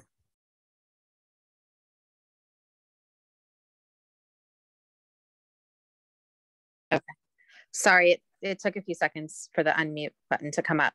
Um, hi, Beth Becker, Cherry Hill. Uh, first of all, I just want to echo everything that Andy McIlvain said. And I think um, speaking to former board members who went through the last bond process uh, 23, 22 years ago um, is a really good idea. I think he has a very good point that they only went for half of what was necessary and everything else got kicked down uh, the road and here we are um, i personally don't think uh, anything on that list is is really um, not necessary. I think everything is is necessary. Um, you know everything is necessary for some reason right? So even the aprs in the elementary schools they may not seem like a big deal but if we had um, two large spaces in every elementary school, uh, like an APR um, and a gym or cafetorium, whatever they're called, um, we would have been able to spread kids out more for lunch during COVID. So all of these things um, have a huge impact on uh, student life. Um, Dr. Meloche said, uh, you know, how are we going to do everything needs to be done, right? So how are we going to do it? So it's it's a matter of uh, are you going to put the first 300 million in a bond and then we're going to try to figure out how to do the other um, 90 something million dollars worth of projects and he's right it all has to be done. So how are we going to allocate our money to do it? And this is the most fiscally responsible way to do it. Putting everything in the bond is the most fiscally responsible way to do it. If we're going to use our capital reserves one way or another using them to pay down part of the um, bond in order to lower the tax impact is the best way to use the money that we have. Um, it is absolutely the most fiscally responsible way to go forward uh, and set us up for the next 20 years. Um, and like Mr. Garrison said, yes, everything is going to be um, at least 20 years, right? So everything that we do is going to last at least 20 years and it's going to lower maintenance. Um, we're not going to have to re-up a lot of these things. So I just want to reiterate that I really would go for the entire thing. Um, there's a large segment of the community that is willing to um, stand behind the entire thing and push for that in the community. Thank you very much. Thank you, Beth. Anybody else in the audience? Okay, uh, Mr. Yaris online. Hi, um, Yoni Yaris, uh, Cherry Hill. I apologize. I'm holding the youngest learner to be in Cherry Hill who will be graduating in 2040. So if you guys noisy, I sincerely apologize. But my comment is based on that. I will have a student in the district when this bond hopefully comes due and totally being done. I agree with Beth. I agree with Andy. And I agree with Ann that we have to go for it all. We've seen the reaction. I was a student in the last bond and it got kept getting kicked. I didn't think when I was a student then that now with kids in the district myself, we'd still be trying to pay for things that were needed 25 years ago. That we have to say the buck stops here. Um, to Mr. Garrison and your team, I have to say you're brilliant. Uh, to come up with the idea of utilizing the capital reserve to pay down debt is absolutely brilliant and just shows the board did an excellent job when they chose to go in your direction uh, when they went back to the drawing board for the bond after the last one failed. And I just want to say thank you that you have done absolutely everything. And I'm excited to see you go out and help build the campaign structure for this to be passed. Um, I agree with Beth that there is nothing fluffy in this at all.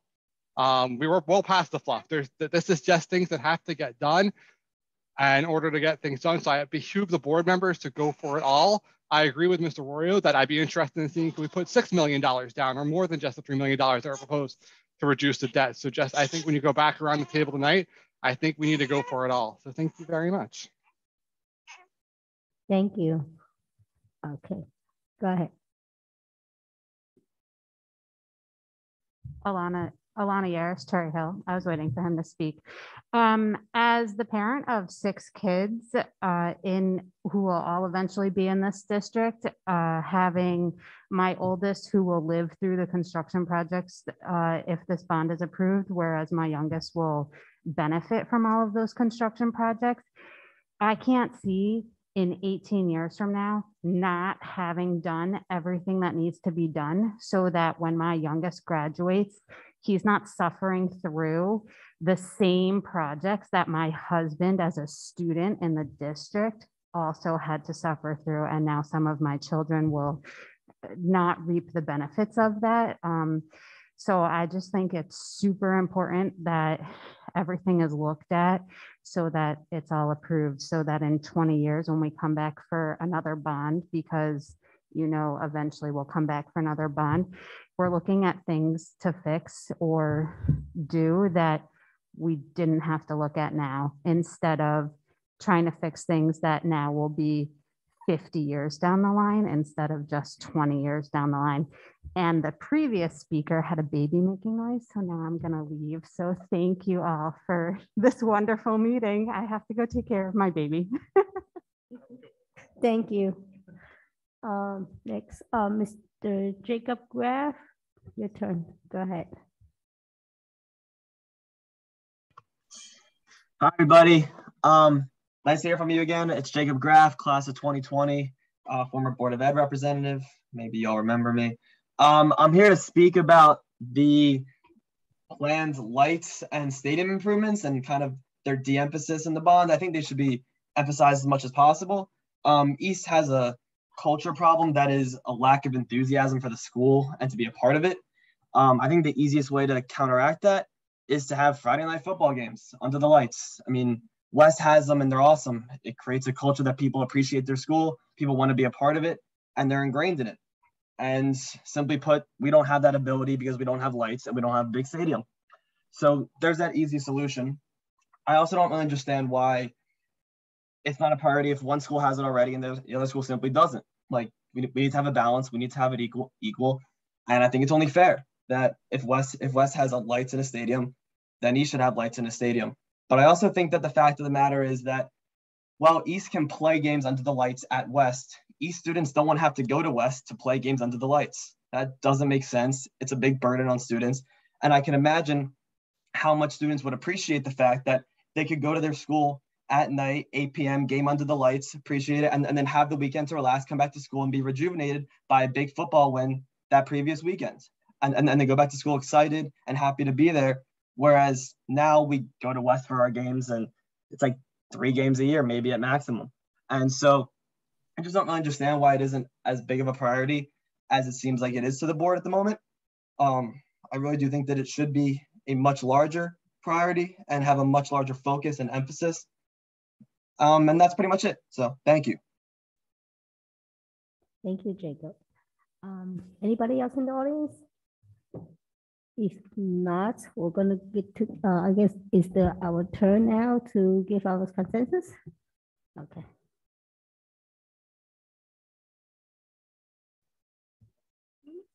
All right, that will um, that will end the public comment session with no one coming to the mic or raising their hand online. And so I guess I guess we're going to return to a sense of the board, um, given some really good perspective for our public comment. Would anyone like to start? Go ahead. Ms. Arroyo. So I'm in favor of supporting the full bond and increasing our capital amount um, reserve added to it. So I'd like to see what the numbers look like around that. But after visiting all the schools and getting the feedback from um, sitting through what Garrison and his team identified along with the parents and even the adjustments to West and even some of the conversations today, um, we need this to happen in our district. And I, I, ha- I, I grew up in a family of construction workers and I understand development and we cannot bypass this opportunity. Um, it looks like a lot, it looks like a lot of work and i'm super excited about it being a three to four year process to go do this, but I also am thinking about everybody that's going to be able to benefit in 20 years down the line and looking at it differently. So I'm full support of all the projects and then increasing the capital amount and what that looks like. Thank you. Dr. Rude? Um, I feel obligated to, to weigh in on, um, just looking at the F-wing map and the, the proposed F-wing map. In the old, old map, there's an electronics lab, drafting, journalism, art, uh, some physics stuff, an auto shop. So an awful lot of the arts in there. In the proposed, there's a couple of science labs and a lot of just, uh, looks like uh, bland uh, or standard classroom space in STEM. Uh, I would like to know what, what we're going to do to maintain some of those obviously programmatic rooms that uh, are important for the arts. Um, I think that is important to address. Um, uh, what, aside from that, I, um, I- think one of the most uh, salient comments I heard in the public comment was that the cost and the issues are only going to go up. Um, I did a brief stint as a carpenter, carpenter once upon a time and remember opening up some roofs and seeing ants, uh, carpenter ants taking away the rafters. When you let stuff, let stuff sit too long and you let it rot, you end up paying two, three times as much as you intended. I think that it's really important, uh, and, and the team of, of architects and the previous board have spent an awful lot of time determining what the most important projects are. Um, and I think it would be really, really, really important for us to, uh, to get all of that done, because I agree, cost and issues only go up, they never go down. Thank you. Mr. Avadia? I'm sorry, it's Barbara Wilson. I'm being timekeeper again. I apologize. It is 8:50, 10 minutes until 9 o'clock. Thank you. Okay, be brief, everybody. No, no, I mean, uh, we, we could, we could take an extra, a couple minutes, because Dr. Meloche is going to be brief. He already told me, superintendent comments, he's, he's good. Ms. Friedel? Um, so I uh, support all the projects. We have let things go. We have to address them. We have to address them for the future. We need to address them uh, for those students who will benefit, for those who will be alumni, and for those who will come later.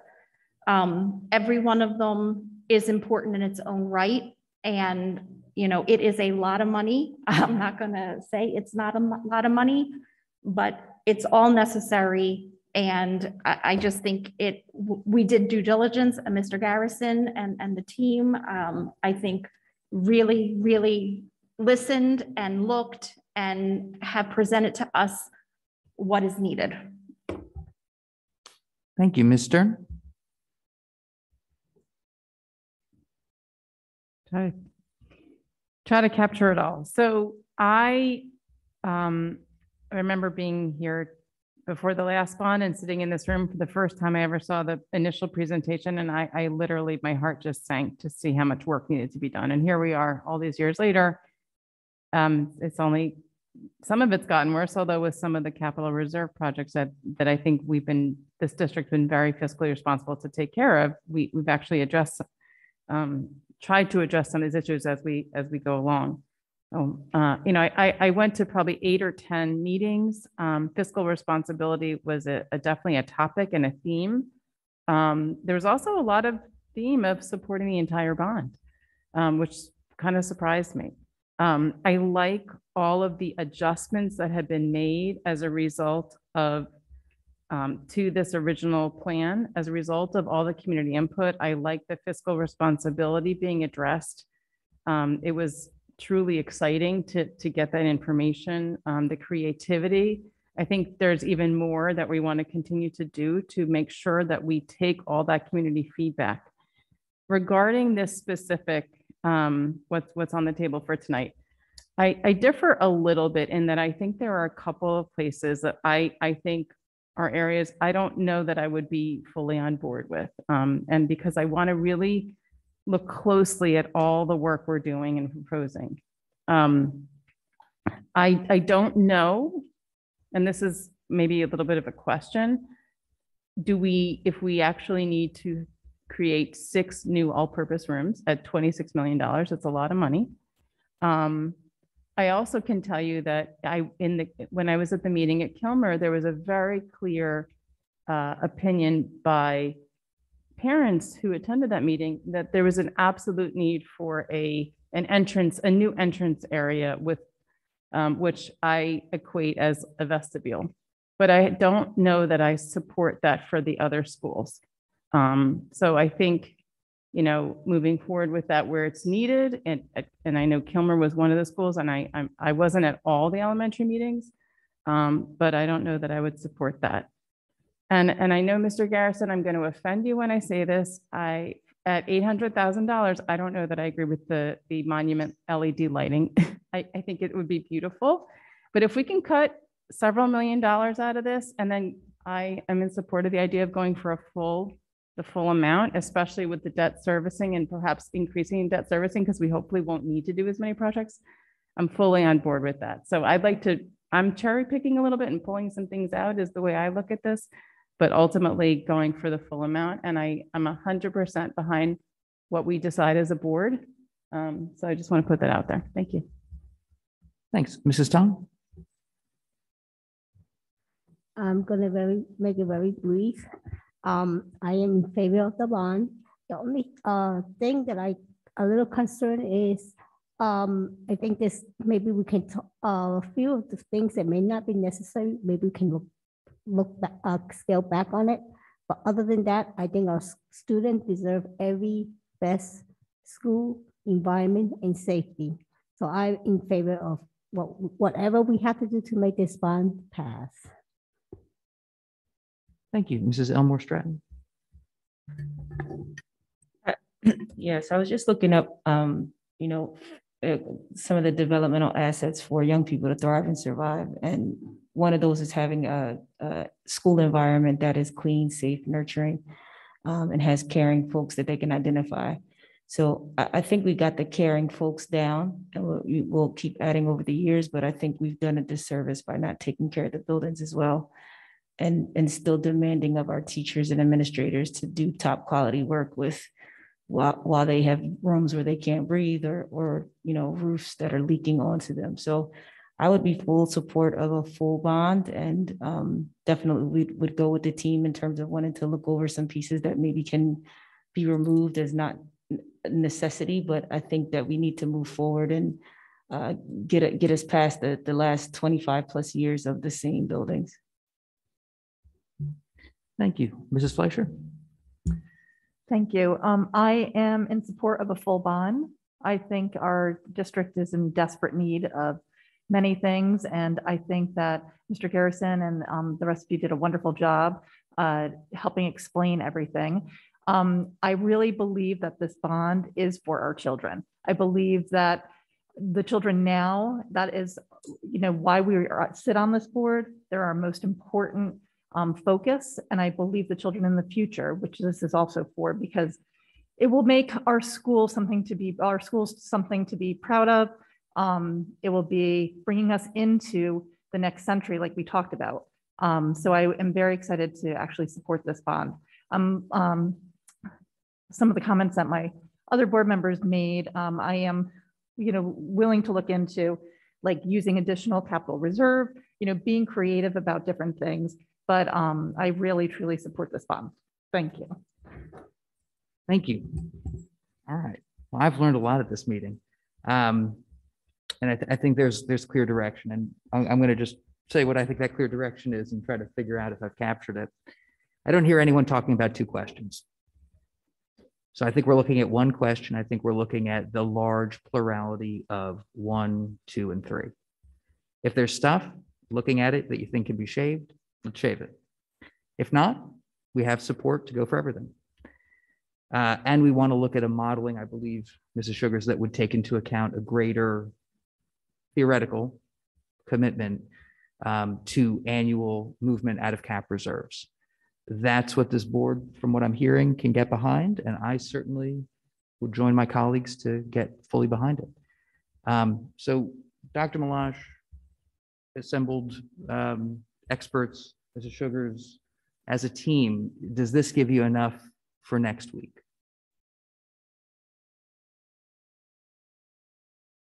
I, I would say yes. Thank you. Um, Thank you for the board comments and and Mr. Vadia, thank you for uh, pulling it all together and, and surmising it. All right, before I go to official superintendent comments that I'll stay as long as you need, Dr. Malone. Um, But I did want to take a moment to thank all those who expressed interest in our open board seat. Um, For those paying close attention, we are a member short. Um, I will say that any one of the 14 applicants that expressed formal interest would certainly bring great experience and points of view on a variety of pressing issues before this current board. Uh, Now, from a process perspective, tomorrow, Mrs. Shugars will reach out to each applicant to indicate uh, who will and who won't be joining us next week for interviews. That will take place in public. Um, We look forward to continuing the process to fill our ninth board seat at this table. I will tell you, a decision um, is scheduled for next week. That board member will be seated on February 8th. And with that, I turn it to Dr. Meloche. Thank you, Mr. Avadia. Uh, Again, one last time, let me- thank our professionals uh, for being here this evening. Uh, Mr. Notley, Mr. Garrison, Mr. Salamini, uh, and Ms. Tracy uh, for taking the time to, to be here. Um, And a special thank you to the people that called in and that were here in the audience to share their perspective.